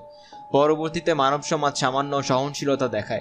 তারা মানসিক রোগীদের মেরে না ফেলে অপরাধীদের যেভাবে সমাজ থেকে আলাদা করে রাখা হতো, সেভাবে আলাদা করে রাখার ব্যবস্থা করে। প্রায় একশো বছর এই ব্যবস্থাটি চালু থাকে। একবিংশ শতাব্দীর মাঝামাঝি থেকে আবারও মানসিক রোগীদের ধ্বংস করে ফেলার আইন পাশ হয়। কিছুক্ষণ আগে আপনারা এই আইনই প্রয়োগ করলেন। আচ্ছা সিডিসি, তাদের সমস্যাটা কি? কোনো সমস্যা নেই। সমস্যা না থাকলে দীর্ঘ বক্তৃতার কারণ কি? দীর্ঘ বক্তৃতার কারণ হলো, আমি শুধু বর্তমানের সমস্যা দেখি না, ভবিষ্যতের সমস্যাও দেখি। আমাদের মধ্যে একটি সফটওয়্যার আছে fourth order probability vector analysis program এই সফটওয়্যারের সাহায্যে আমি যে কোনো বর্তমান ঘটনাকে ভবিষ্যতে কোঅর্ডিনেট করে ফেলতে পারি। খুবই ভালো কথা। শুধু এটি ফেলতে পারছি না। পারছ না কেন? Fourth order probability vector analysis মানসিক ভারসাম্যহীন মানুষদের ক্ষেত্রে কাজ করে না। এটা জানা ছিল না। সিরিসি কিছুক্ষণ চুপ করে থেকে আবার কথা বলা শুরু করল। তবে এবারে সে ঠোঁট মুছলো গাঢ় সবুজ রঙের রুমাল দিয়ে। আমি আরেকটি বিষয়ের দিকে আপনাদের দৃষ্টি আকর্ষণ করতে চাচ্ছি। আমি অতি প্রাচীনকাল থেকে এখন পর্যন্ত যত মানসিক রোগী আছে, তাদের সবার কেস হিস্ট্রি জোগাড় করেছি।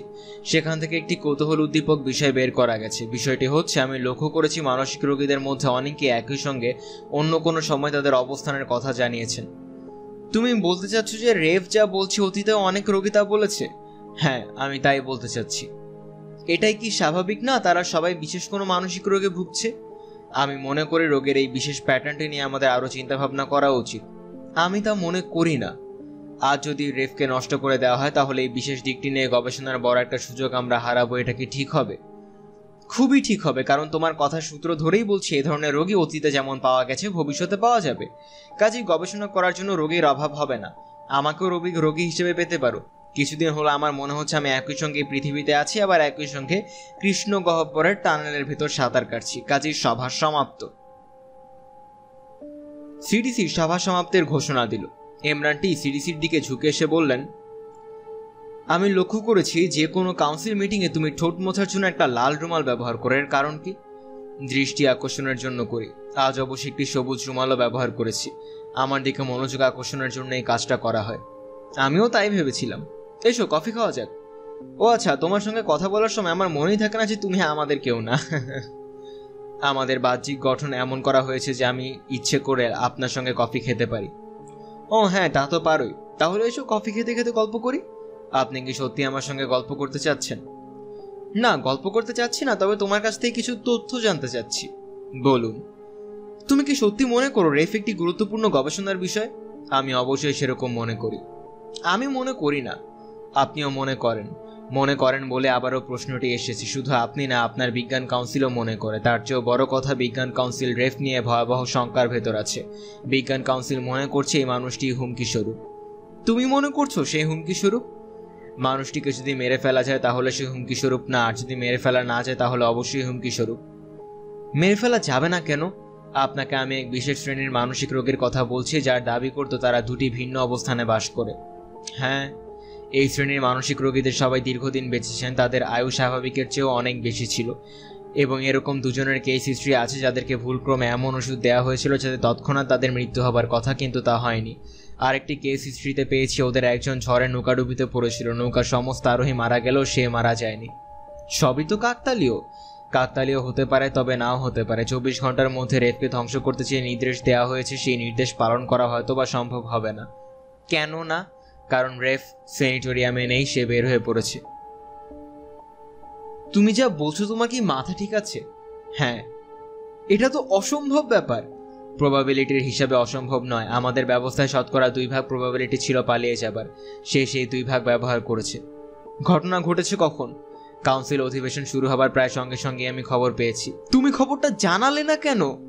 বিশেষ কাউন্সিল অধিবেশন চলাকালীন সময়ে বাইরের কোনো খবরাখবর দেবার নিয়ম নেই। এতে কাউন্সিলের মর্যাদা ক্ষুণ্ণ হয় এবং কাউন্সিলের সিদ্ধান্ত গ্রহণও বাধাগ্রস্ত হতে পারে। এই নিয়ম আপনার জানা থাকার কথা।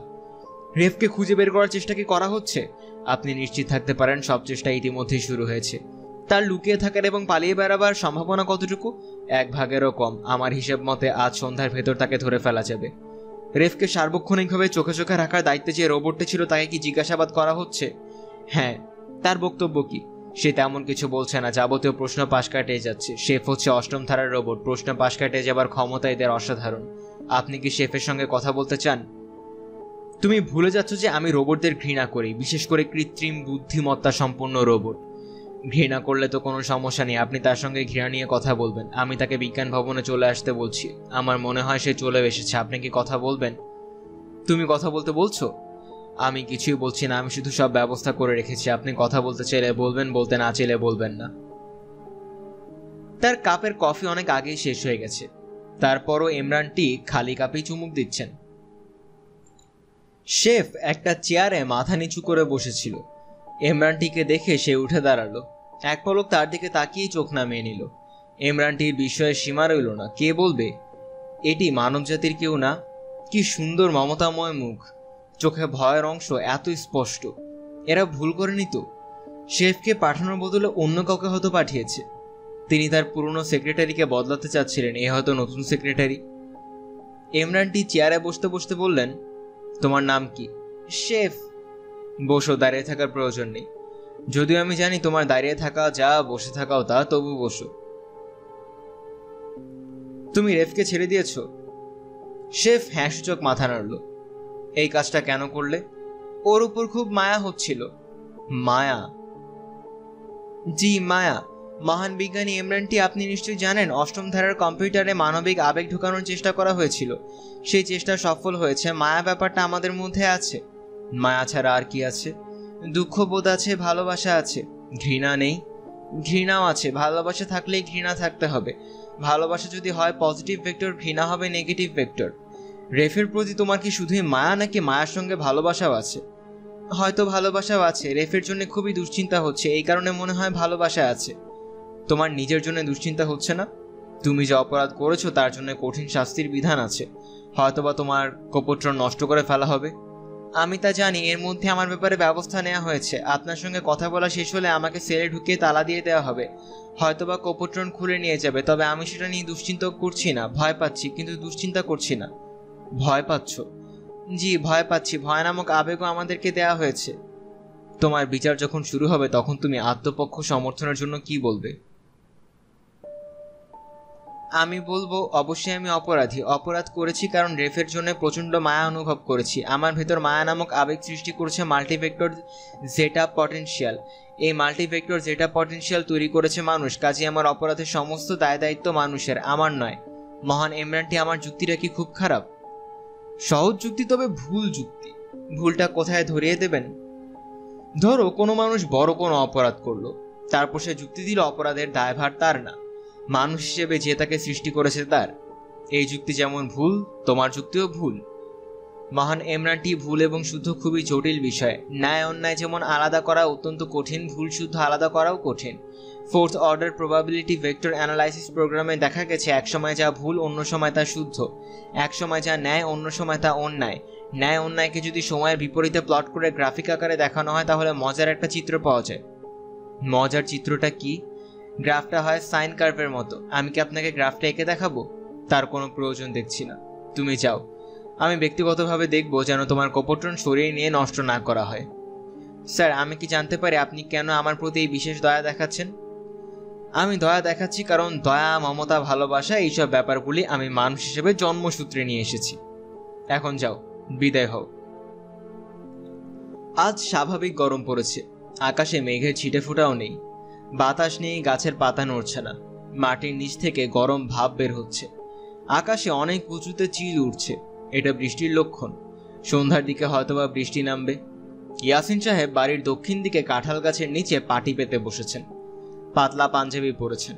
তার খাস লোক ফজলু এসে নলওয়ালা হুক্কা তার সামনে রেখে হাতে নল ধরিয়ে দিল। ফজলু হুক্কার সঙ্গে বড় একটা তাল পাখা এনেছে। ইয়াসিন সাহেব যতক্ষণ গাছের নিচে বসে থাকবেন, ততক্ষণ সে পাখার বাতাস দেবে। এটা বরাবরের নিয়ম। আজ নিয়মের ব্যতিক্রম হলো। ইয়াসিন সাহেব হাতের ইশারায় ফজলুকে চলে যেতে বললেন। ইয়াসিন সাহেব শেফাকে ডেকে পাঠিয়েছেন। ইয়াসিন সাহেব নল টানছেন। গুড়গুড় শব্দ হচ্ছে। ঝাঝা দুপুরে হুক্কার শব্দ তার কাছে মধুর লাগে। নিচের উপর তার খানিকটা রাগও লাগছে। নিজের মেয়ের সঙ্গে কথা বলবেন, সেই কথা বুঝে নেবার দরকার কি? ইয়াসিন সাহেব লক্ষ্য করলেন শেফা আসছে। মেয়েটাকে দেখে মনে হচ্ছে না সে ভয় পাচ্ছে। শেফা সামনে এসে দাঁড়িয়েছে। আজ মেয়েটাকে অন্য দিনের চেয়েও সুন্দর লাগছে, ঝলমল করছে। অতিরিক্ত রূপবতী কন্যা ও অভিশাপের মতো। নানান যন্ত্রণা রূপবতীদের নিয়েই হয়। ইয়াসিন সাহেব ইশারায় মেয়েকে বসতে বললেন। শেফা সহজ ভঙ্গিতে হাঁটু মুড়ে বসল। তার চোখ মুখ স্বাভাবিক, যেন সে জানেই না কি জন্যে তাকে ডাকা হয়েছে।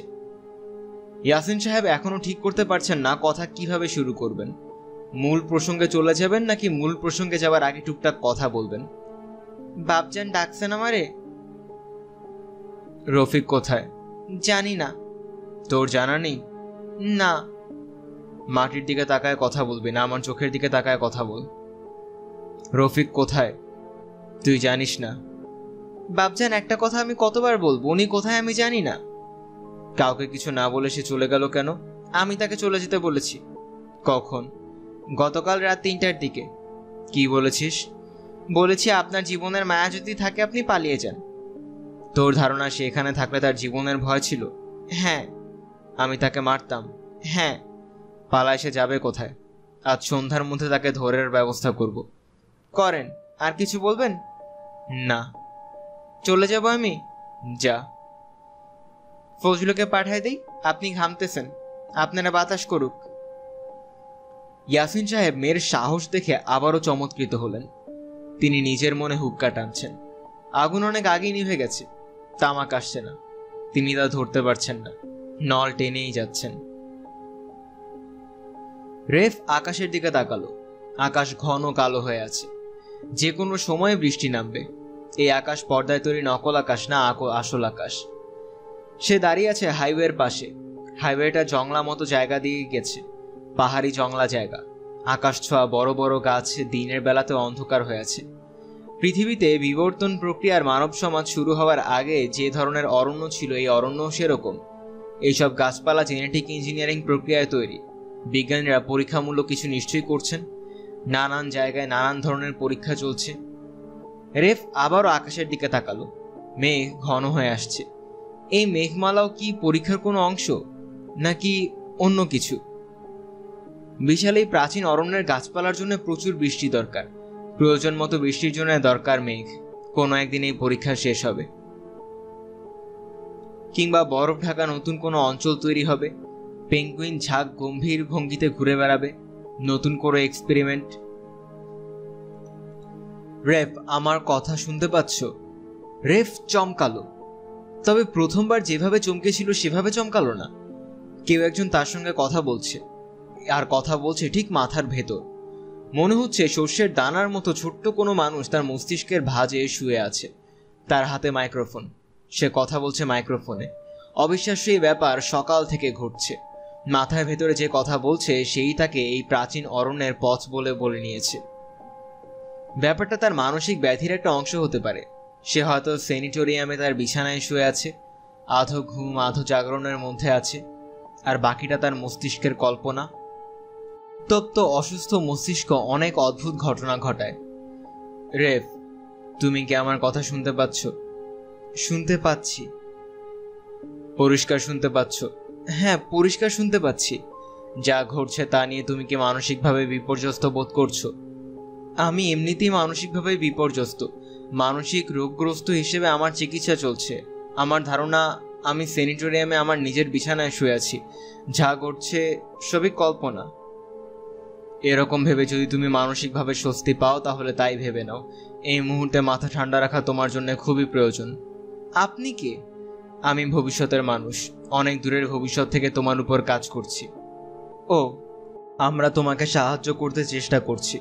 সরাসরি সাহায্য করা সম্ভব হচ্ছে না। তুমি নিজের বুদ্ধি বিবেচনা প্রয়োগ করো। আমার বুদ্ধি বিবেচনা কাজ করছে না। তুমি নিশ্চয়ই বুঝতে পারছ তোমাকে খোঁজা হচ্ছে। হ্যাঁ তোমাকে পালিয়ে থাকতে হবে। কোথায় পালাবো? চিন্তা করো, ভেবে বের করো। আমরা অতি দূর ভবিষ্যতের মানুষ। এত দূর থেকে আমরা তোমার অবস্থা বুঝতে পারছি না। আমি কি আমার নিজের বাড়িতে ফিরে যাবার চেষ্টা করব? নিশ্চয়ই কেউ ভাববে না যে আমি নিজের ঘরে চলে যাব। বাইরে তালা বন্ধ করে ঘরে বসে থাকতে পারি? বুদ্ধি খারাপ না। তবে তোমার খাদ্যের প্রয়োজন হবে। খাবারের জন্য তোমাকে বাইরে যেতে হবে। তাছাড়া তোমার ঘরে এর মধ্যে রক্ষী রোবট পাঠিয়ে দেওয়ার কথা। ঠিকই বলেছেন। এখন কি করব? এখন কোথাও তোমাকে আশ্রয় নিতে হবে যেখানে কেউ তোমার খোঁজ করার কথা ভাববে না। সেই জায়গাটা কোথায়? বিজ্ঞান কাউন্সিল প্রধান এমরানটির বাড়ি। সর্বনাশ, সেখানে কীভাবে যাব? আমরা তোমাকে সাহায্য করব। করুন সাহায্য। এই মুহূর্ত থেকে তুমি কৃত্রিম বুদ্ধিসম্মতা সম্পন্ন রোবটের ভূমিকায় অভিনয় করা শুরু করো। এই রোবটগুলি হিউম্যানয়েড, দেখতে অবিকল মানুষের মতো। আমার পোশাক রোবটদের মতো না।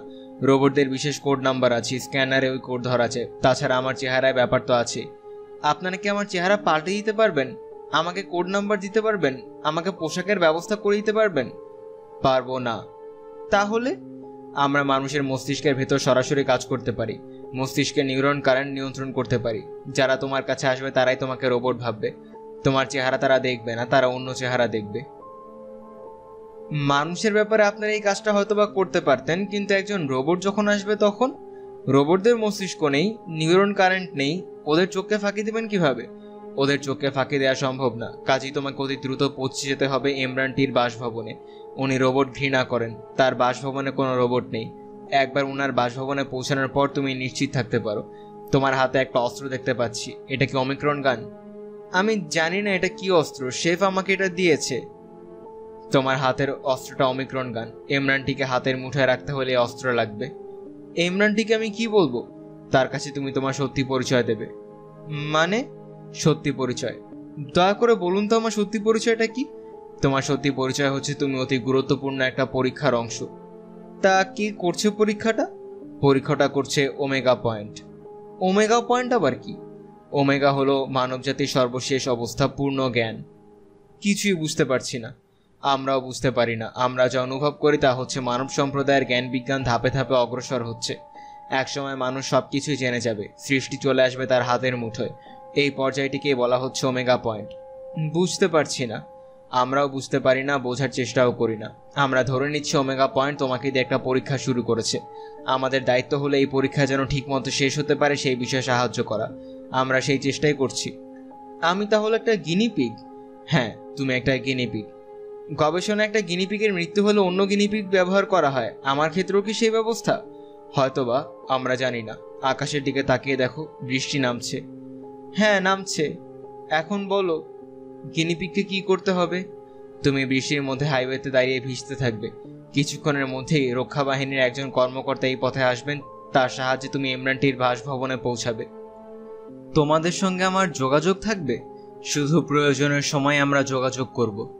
আপনাদের একটা শেষ কথা বলতে চাচ্ছি। বলো। আমি নিশ্চিত যা ঘটছে সবে আমার কল্পনা। আমি একজন মানসিক রোগী। আমার উত্তপ্ত মস্তিষ্ক এসব কল্পনা করছে।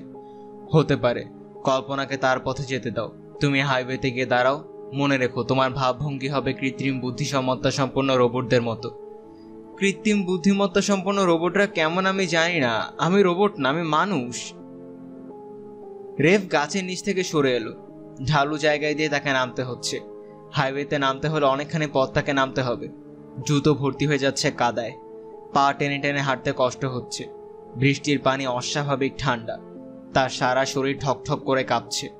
শীতল বাতাসে শরীরের হাড় পর্যন্ত কাঁপছে।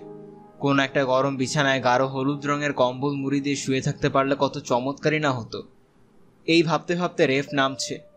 হাইওয়েকে আগে যত কাছে মনে হয়েছিল, এখন তত কাছে মনে হচ্ছে না। এখন মনে হচ্ছে হাইওয়েটা মরিচিকার মতো। সে যতই কাছে যাচ্ছে, হাইওয়ে ততই সরে যাচ্ছে। একজন মানুষের পক্ষে যতটুকু বিরক্ত হওয়া সম্ভব, ইমরানটি তার চেয়েও বিরক্ত হলেন। বিরক্তি প্রকাশ করলেন না। তার মুখ আগে যেমন হাসি হাসি ছিল এখনও হাসি হাসিই আছে। তিনি তার বাড়ির দক্ষিণের জানালার কাছে চেয়ার টেনে বসেছেন। পর্দা সরিয়ে বৃষ্টি দেখছেন। এই সময়কার বাড়িঘর, আসবাবপত্র সবই কম্পিউটার নিয়ন্ত্রিত ট্রেম্বোসি অনুর তৈরি। এই উদ্ভিদ অজৈব যৌগিক অণুকে অতি দ্রুত ঘনীভূত করে যে কোনো রূপ দেওয়া যায়। কম্পিউটারের নির্দিষ্ট মুহূর্তের মধ্যে একটা কাঠের ইজি চেয়ার হয়ে আবার সেই ইজি চেয়ারকে স্বচ্ছ পালস কি চেয়ারেও রূপান্তরিত করা যায়। পালসিক চেয়ার হলো শরীর সংবেদনশীল চেয়ার শরীর যেভাবে চায় চেয়ার সেভাবে তার রূপ নেয়। ইমরানটি রোবট পছন্দ করেন না। ট্রেমসি অনুর আসবাবপত্র পছন্দ করেন না। তার বাড়ির জানালায় ত্রিমাত্রিক আলোর প্রতিফলন ক্ষমতা সম্পন্ন পর্দাও নেই। কাজেই তাকে নকল দৃশ্যও দেখতে হয় না। বিষয়টা খুবই চমৎকার। কাঠের চেয়ারে বসে তিনি যে দৃশ্য এখন দেখছেন, সেই দৃশ্য একশো ভাগ খাঁটি দৃশ্য। এমন কিছু দৃশ্য না, কিন্তু তার দেখতে খারাপ লাগছে না, বরং বেশ ভালো লাগছে। এই সময় তার গোনায় বাধা পড়ল। মেজাজ অসম্ভব খারাপ হলো। তিনি তার সহকারীর দিকে তাকালেন। সহকারী রোবট না, সে সাধারণ একটি মেয়ে। নাম রেলা। চেহারা অতিরিক্ত সাদাসিধা। মনে হয় সারাক্ষণই ভয় অস্থির হয়ে আছে। কাজকর্ম যে খুব দক্ষ তাও না। কম্পিউটারে কোনো একটা ফাইল খুলতে বললে সে প্রথমে আতঙ্কে একটু শিউরে ওঠে। তারপর যেভাবে কম্পিউটারের বোতাম টেপে, তার থেকে যে কেউ ধারণা করতে পারে যে সে জীবনে কখনো কম্পিউটারের বোতামে হাত দেয়নি, কিংবা বোতামগুলিতে ইলেকট্রিসিটি পাস করছে। আঙুল ছোঁয়ানো মানেই শখ খাওয়া। ফাইলটি একসময় সে অবশ্যই বার করে। ততক্ষণে এমরানটির ধৈর্যচ্যুতি ঘটে। তবে মেয়েটাকে কিছু বলতে পারেন না। বেচারির চেহারায় কিশোরী সুলভ মায়া আছে। তার চোখ যেভাবে ছলছল করতে থাকে, তাতে মনে হয় কিছু বললেই সে কেঁদে ফেলবে। কাজেই মনের বিরক্তি মনে চেপে রাখা ছাড়া পথ থাকে না। মেয়েটিকে বদলে অন্য সহকারী নেয়ার কথা তিনি অনেকদিন থেকেই ভাবছেন। তিনি যখন বিদ্যুৎ চমকানোর হিসাব করছিলেন, তখনই রেলা তার চেয়ারের পেছনে দাঁড়িয়ে বলল, আপনার সঙ্গে দেখা করতে চায় ইমরানটি মহা বিরক্ত হলেন। বিরক্তির অনেকগুলি কারণ আছে। প্রথম কারণ, তিনি মনের আনন্দে বিদ্যুৎ চমকানো গুণ ছিলেন, সেখানে বাধা পড়ল। দ্বিতীয় কারণ, মেয়েটি স্পষ্ট করে কিছু বলেনি। আপনার সঙ্গে দেখা করতে চায়। এই বাক্যটি দিয়ে কিছুই বোঝা যায় না। কে দেখা করতে চায়, কেন দেখা করতে চায়। তৃতীয় কারণ, কেউ একজন চাইলেই ইমরান টির সঙ্গে দেখা করতে পারে না। সেক্রেটারি হিসেবে রেলার এই তথ্য জানা থাকা উচিত। চতুর্থ কারণ, তিনি তার বাড়িতে কারোর সঙ্গেই দেখা করেন না। তিনি তার বিরক্তি প্রকাশ করলেন না। হাসি মুখে রেলার দিকে তাকিয়ে বললেন, কে দেখা করতে চায়? মানবিক আবেগ সম্পন্ন একটি রোবট আপনার সঙ্গে দেখা করতে চায়। তুমি তো জানো আমি রোবটদের সঙ্গে কথা বলি না। জানো না কি জানো না? জানি, কিন্তু সে বলছে খুবই জরুরি। একজন রোবটের সঙ্গে আমার কোনো জরুরি কথা থাকতে পারে না। রেফ নামের যে একজনকে খোঁজা হচ্ছে, এই রোবটটি সেই বিষয়ে আপনাকে তথ্য দিতে চায়। এই রোবটটি রেপ সম্পর্কে আমাকে তথ্য দিতে চায়? জি। রেপ সম্পর্কে কোনো তথ্য দিতে চাইলে সে দেবে নগর পুলিশকে কিংবা মূল কম্পিউটারকে আমাকে কেন? সেটা স্যার আমি বলতে পারছি না তবে আপনি চাইলে জিজ্ঞেস করে দেখতে পারেন। তোমাকে জিজ্ঞেস করতে হবে না। তুমি তাকে বিদায় হতে বলো এবং তার নাম্বার রেখে দেবে যাতে আমি কঠিন শাস্তিমূলক ব্যবস্থা করতে পারি। আপনি তার সঙ্গে দেখা করবেন না? না। কিছু মনে করবেন না স্যার আমার মন বলছে তার সঙ্গে আপনার দেখা করা উচিত। তুমি তোমার মনকে বিশেষ গুরুত্ব দিও না। তোমার মন এবং বুদ্ধিবৃত্তি তেমন উচ্চ শ্রেণির না। কিছু মনে করো না। মাঝে মাঝে সত্যি কথাটা জানা প্রয়োজন হয়ে পড়ে। স্যার, আমি জানি আমার বুদ্ধি খুবই কম। আমি জানি আপনি আমাকে যা করতে বলেছেন সেটি আমার করা উচিত, কিন্তু রোবটটা একটা অমিক্রণ গান নিয়ে এসেছে। অমিক্রণ গান নিয়ে এসেছে মানে? অমিক্রণ গান তুমি চেনো? জি, চিনি। রোবটটি আমাকে বলেছে, তুমি এমরানটি নামের বুড়োটাকে আসতে বলো। আমার কাছে রেফ সম্পর্কে তথ্য আছে, আমি তার সঙ্গে তথ্য আদান প্রদান করব।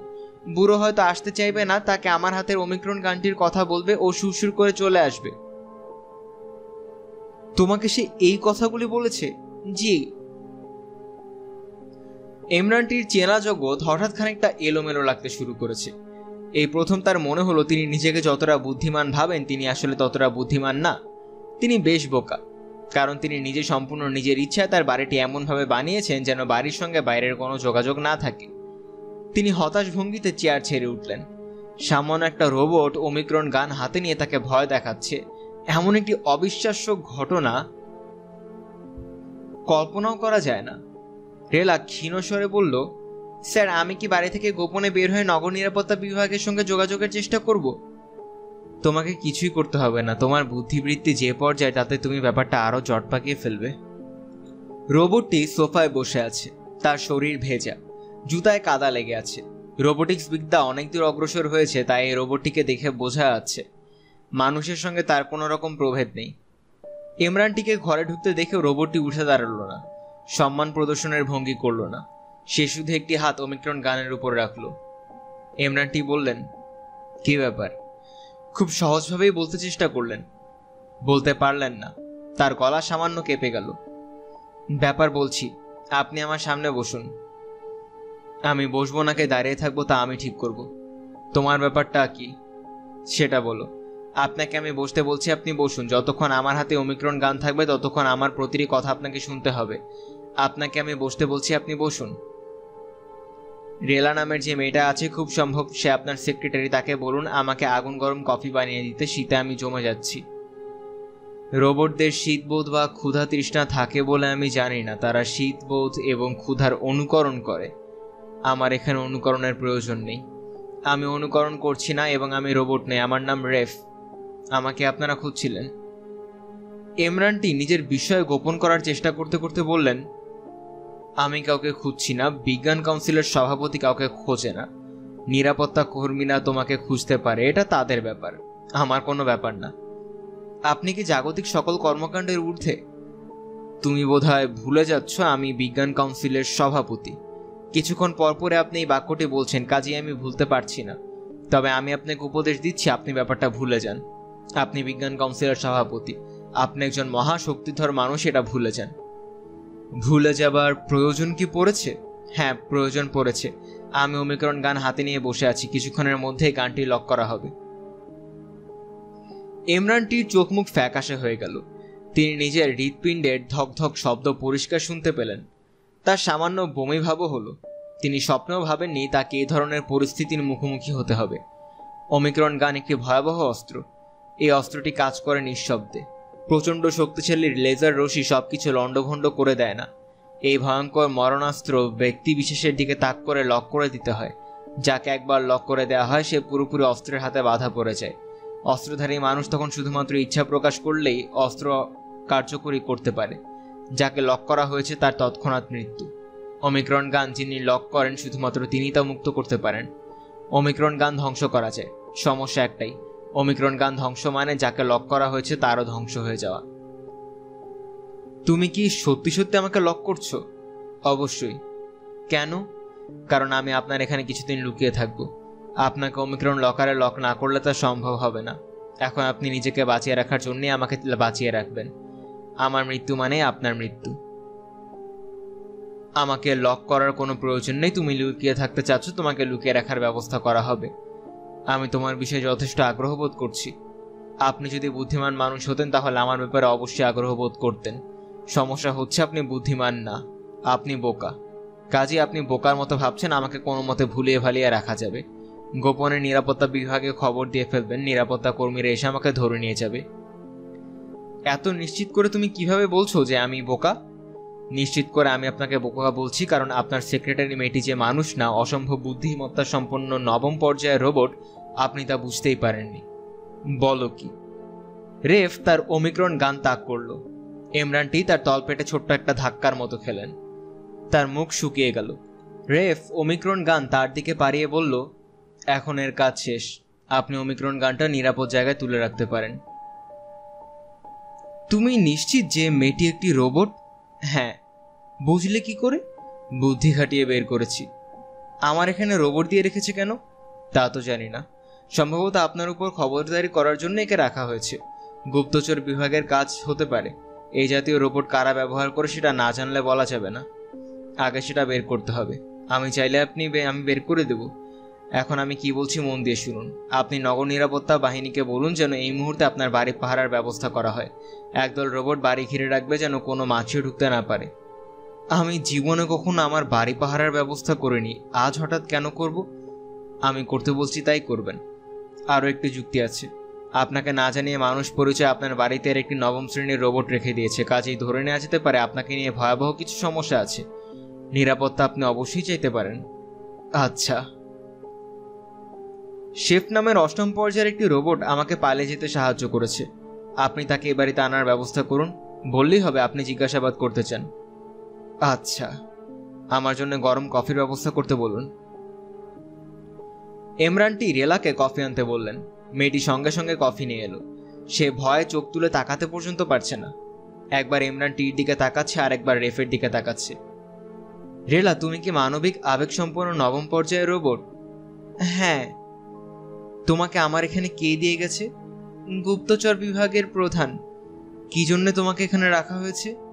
আমি জানি না কি জন্য রাখা হয়েছে। আমাকে নির্দেশ দেওয়া হয়েছে যেন আমি যতদূর সম্ভব অল্প বুদ্ধির মানুষদের মতো আচরণ করি। কারণ আপনি আপনার আশেপাশে বুদ্ধিমান মানুষ পছন্দ করেন না। এই জন্যে বোকা সেজেছিলে। জি। তুমি কি গুপ্তচর বিভাগের সঙ্গে খবর আদান প্রদান করতে? জি না, আমাকে সেরকম নির্দেশনা দেওয়া হয়নি। আমাকে শুধু বলা হয়েছে আপনার উপর লক্ষ্য রাখতে আমি তাই করেছি।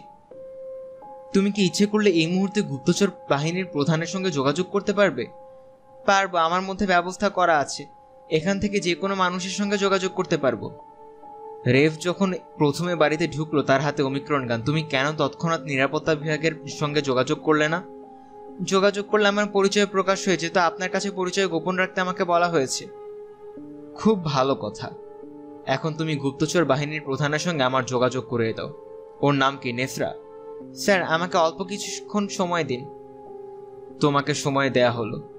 এই ফাঁকে তুমি রেফ ছেলেটির জন্য শুকনো কাপড়ের ব্যবস্থা করো। ও কোন ঘরে থাকবে সেই ঘরটা দেখিয়ে দাও। ও নিশ্চয়ই ক্ষুধার্ত তার খাবারের ব্যবস্থা করো। এক্ষুনি সব করছি। রেফ কফির কাপে চুমুক দিচ্ছে। তাকে সামান্য অস্থির মনে হচ্ছে। কথাবার্তা কি হচ্ছে সে খুব মনোযোগ দিয়ে শুনছে তা না। রেলা এমরানটির দিকে তাকিয়ে বলল, স্যার, গুপ্তচর বিভাগের প্রধানের সঙ্গে যোগাযোগ হয়েছে। আপনি কি কথা বলতে চান? হ্যাঁ। চেয়ারে বসে কথা বললেই সে শুনবে? জি, স্যার, উনি শব্দ শুনবেন, কোনো ছবি দেখবেন না। ছবি পাঠাবারও ব্যবস্থা কি আছে? জি, আছে, স্যার, আমি বোটাম টিপ টিপে দিচ্ছি, আপনি কথা বলুন। হ্যালো, আমি কার সঙ্গে কথা বলছি? স্যার, আমি নেসরা, গুপ্তচর বিভাগের প্রধান। শুভ সন্ধ্যা, নেসরা। জি, স্যার, শুভ সন্ধ্যা। খুব শুভ কিন্তু না, বাইরে ঝড় বৃষ্টি হচ্ছে। আমি যে তোমার সঙ্গে কথা বলছি, এতে কি তুমি আশ্চর্য হচ্ছ না? আমার বাসা থেকে বাইরের জগতের সঙ্গে কখনোই কোনো যোগাযোগ করা যাবে না এমন বলা হয়েছিল। আমার ধারণা ছিল সেই ব্যবস্থা আছে, এখন দেখছি তা না আমার বাড়িতে নবম পর্যায়ের একটি রোবট বাস করছে। দিনের পর দিন ভোকার মানুষের মতো নিখুঁত অভিনয় করে যাচ্ছে। খুব অভিনয় করতে পারেনি। করতে পারলে আপনি ধরতে পারতেন না। তা ঠিক, অভিনয় খুব নিখুঁত হয়নি। এখন তুমি কি দয়া করে একটু ব্যাখ্যা করবে কোন স্পর্ধায় গুপ্তচর বিভাগ এমন একটা কাজ করে? আমি বিজ্ঞান কাউন্সিলের বিশেষ জরুরি অধিবেশন ডাকার ব্যবস্থা করছি। স্যার, এখানে আপনি ছোট একটা ভুল করছেন। এমন ভয়ঙ্কর অন্য একটা কাজ গুপ্তচর বিভাগ একেবারে কখনোই করবে না। তোমাদের সঙ্গে আর কে কে আছে জানতে পারি? আমরা এই কাজটি অনিশার সঙ্গে করেছি, বিজ্ঞান কাউন্সিলের বিশেষ অনুরোধে। নেসরা, তুমি খুবই বিস্ময়কর একটা কথা বলছো। স্যার, আমি সহজ সত্য কথা বলছি। বিজ্ঞান কাউন্সিল কেন এই ধরনের পদক্ষেপ নিয়েছে আমি কি তাদের হয়ে ব্যাখ্যা করব? নাকি আপনি সরাসরি তাদের কাছ থেকেই শুনবেন? তোমার ব্যাখ্যা আগে শুনি। পদার্থবিদ্যার যুগান্তকারী কিছু আবিষ্কার আপনি করেছেন। বলা হয়ে থাকে আপনার মতো প্রতিভাবান পদার্থবিদ অতীতে জন্মাননি। আপনি অল্প কিছুদিন মাত্র কাজ করেছেন, তারপর হঠাৎ সবকিছু থেকে নিজেকে গুটিয়ে নিয়েছেন। তাতে সমস্যা কি? বিজ্ঞানের ভয়াবহ ক্ষতি হচ্ছে এটাই সমস্যা। বিজ্ঞান কাউন্সিল এটা নিয়েই চিন্তিত। তারা ধারণা করছে আপনি চুপচাপ ঘরে বসে থাকেন, এটা ঠিক না। আপনি নিশ্চয়ই কিছু না কিছু করছেন। কিছুটা যেন হারিয়ে না যায়, সেজন্যই নবম পর্যায়ের একটি রোবট রাখা হয়েছে। সে সব কিছু তার মেমোরি সেলে ঢুকিয়ে রাখবে। তোমার অবগতির জন্য জানাচ্ছি, আমি ছড়া লেখা ছাড়া কিছুই করছি না। আগে বিজ্ঞান নিয়ে পড়াশোনা করতাম, এখন তাও করি না। স্যার, আমি কি জানতে পারি কেন করেন না? না, জানতে পারো না। আপনি যদি বলেন, তাহলে নবম পর্যায়ে রোবটটা আমরা উঠিয়ে নিয়ে যাব। তার প্রয়োজন নেই। তোমরা কি রেফকে খুঁজে পেয়েছ? এখনও পাইনি। সামান্য একজন মানুষকে তোমরা খুঁজে পাচ্ছ না, ব্যাপারটা কি বিস্ময়কর না? হ্যাঁ বিস্ময়কর। শেফ নামের যে রোবটটি তাকে দেখাশোনা করত আমি তার সঙ্গে কথা বলতে চাই। তাকে আমার বাড়িতে পাঠাবার ব্যবস্থা করো। তাকে সেলে বন্দি করে রাখা আছে। সেখান থেকে মুক্ত করে আনতে হলে আপনার লিখিত অর্ডার লাগবে। তুমি কাউকে পাঠাও, আমি লিখিত অর্ডার দিয়ে দিচ্ছি। আরেকটি কথা, আমার বাড়ির চারপাশে কঠিন পাহারার ব্যবস্থা করো, যেন একটা মাছিও ঢুকতে না পারে। স্যার, ব্যবস্থা করছি। রেফ লাইব্রেরি ঘরে শুয়ে আছে। ঠান্ডায় তার শরীর কাঁপছে। জ্বর এসে যাচ্ছে। ঘরের বাতি নেভানো। কে যেন ঘরের ভেতর এসে দাঁড়িয়ে আছে। রেফ চোখ মেলে দেখে শেফ। শেফ কোমল গলায় বলল, তুমি কেমন আছো? ঝুপঝুপ করে বিরামহীন বৃষ্টি পড়ছে। রফিক নৌকার ভেতর চাদর গায়ে গুটিসুটি মেরে শুয়ে আছে। নৌকা এর আগে রাত কাটিয়েছে বলে মনে করতে পারছে না। সামান্য বাতাস আছে, বাতাসে নৌকা দুলছে। নৌকার দুলুনিটা খারাপ লাগছে না, তবে অন্ধকার খুব চোখে লাগছে। আলো যেমন চোখে লাগে, গাঢ় অন্ধকারও চোখে লাগে। ঘুমিয়ে পড়তে পারলে ভালো হতো। কিন্তু ঘুম আসছে না। খিদায় শরীর অবসন্ন লাগছে। প্রায় চোদ্দ ঘণ্টার মতো হবে সে না খেয়ে আছে। আর বেশিক্ষণ থাকা যাবে বলে মনে হচ্ছে না। তার মাঝে মাঝে ইচ্ছা করছে নৌকা থেকে বের হয়ে খাবারের সন্ধানে যেতে। কোনো একটা বাড়ির সামনে দাঁড়িয়ে ভাত চেলে কি তারা দেবে না? এক থালা আগুন গরম ভাত, ভাতের উপর এক চামচ ঘি। ভাবতে ভাবতে রফিক ঘিয়ের গন্ধ পেল। গন্ধ বিষয়ক হ্যালুসিনেশন হচ্ছে। খালের ভেতর নৌকা বাঁধা। এখানে ঘিয়ের গন্ধ পাওয়ার কোনোই কারণ নেই। শেফা তাকে বারবার বলে দিয়েছে, সে এসে কিছু না বলা পর্যন্ত যেন রফিক নৌকা ছেড়ে না যায়। শেফার জন্য অপেক্ষা করাটা বোকামি হচ্ছে না তো। মেয়েটা হয়তো সব ভুলে গেছে। মেয়েটা তার সঙ্গে কোনো রসিকতা আবার করেনি তো? রসিকতা সম্ভাবনা একেবারে উড়িয়ে দেয়া যাচ্ছে না। ইয়াসিন সাহেব শুধু শুধু রফিককে মেরে ফেলার চেষ্টা করবেন কেন? সে অপরাধটাই বা কি করেছে? নৌকা প্রবলভাবে দুলছে। নৌকার ছোয়ের মুখ ভারী পর্দায় ঢাকা। পর্দা সরিয়ে শিফা মাথা বের করে বলল, স্যার, কেমন আছেন? তুমি কি কোনো খাবার এনেছো? কলা এনেছি, বসে বসে কলা খান, বাটির মধ্যে মুড়ি আছে, এক গাল মুড়ি নেবেন, আর কলায় কামড় দিবেন, পাটালি গুঁড়ো আছে। আমি ভাবলাম, তুমি আবার বোধহয় ভুলে টুলে গেছো। আমি শুধু পড়া ভুলে যাই, অন্য কিছু ভুলি না। আপনি না বলে আগে ভালো মতো খেয়ে পেট ভরান, তারপরে কথা বলবেন। তোমার বাবা কি সত্যি সত্যি আমাকে মেরে ফেলতে চান? হ্যাঁ আপনার খোঁজে লোক নেমে গেছে। কি আশ্চর্য কথা। কোনো আশ্চর্য কথা না, এক দুইটা মানুষ বিলে পুঁতে ফেলে বাবার কাছে কিছুই না। তুমি যে এখানে এসেছ কেউ জানে? মা জানে। উনি তোমার বাবাকে বলে দেবেন না? না। না কেন? উনি আমাকে খুবই ভালোবাসেন। তোমার বাবাও তো তোমাকে ভালোবাসেন। দুজনের ভালোবাসা দু রকম। আমার জন্য মার ভালোবাসায় আপনি আছেন, কিন্তু বাবার ভালোবাসায় আবার আপনি নেই? এটা কীরকম কথা? কীরকম কথা এটা চিন্তা করতে হবে না। আপনি তাড়াতাড়ি খাওয়া শেষ করেন। কলা কয়টা খেয়েছেন? দুইটা। আরেকটা খান তাহলে দানে দানে তিন দান হবে।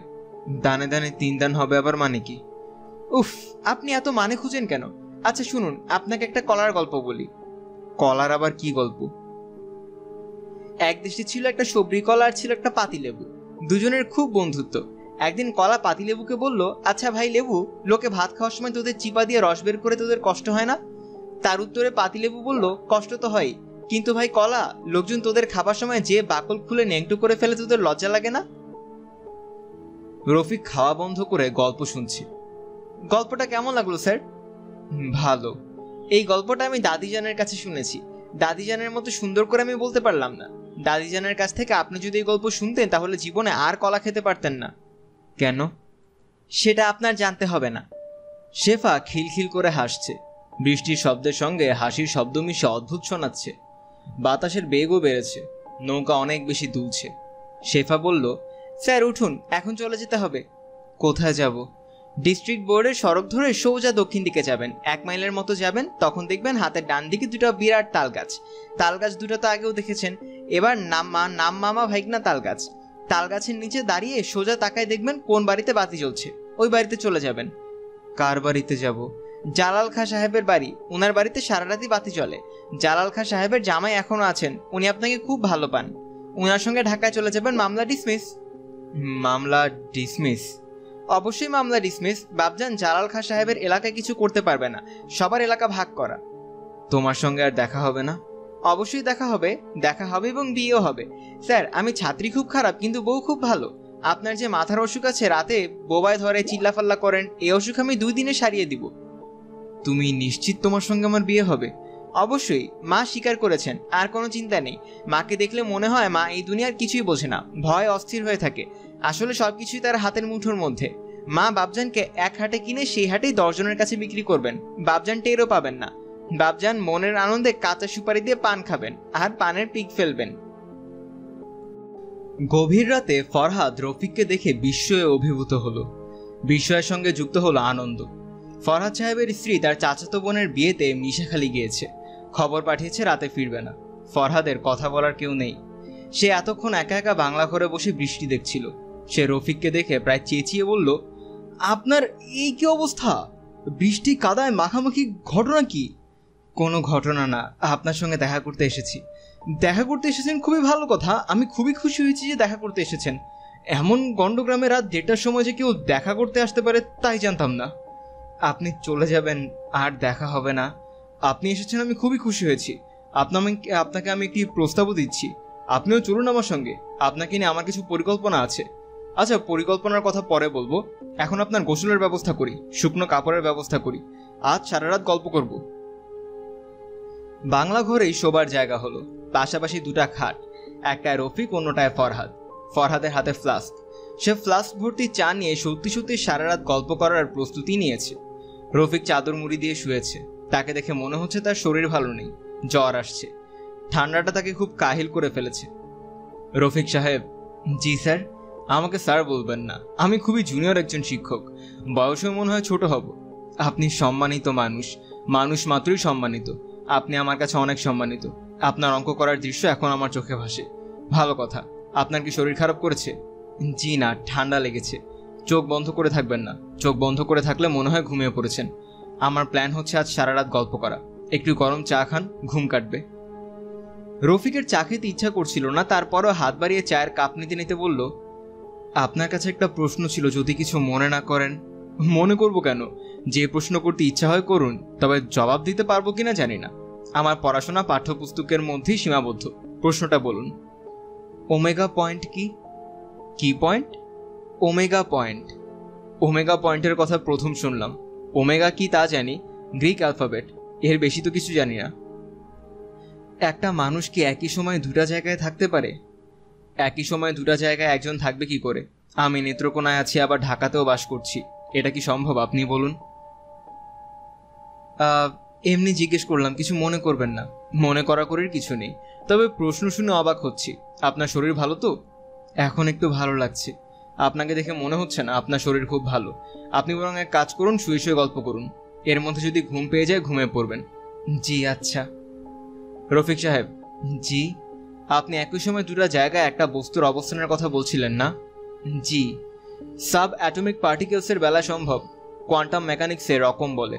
কোয়ান্টাম মেকানিক্স অবশ্যই আমার বিষয় না আমি পড়াই অ্যাপ্লাইড ফিজিক্স। কোয়ান্টাম মেকানিক্স আমার কাছে সবসময় খানিকটা অস্পষ্ট এবং ধোয়াটে মনে হয়।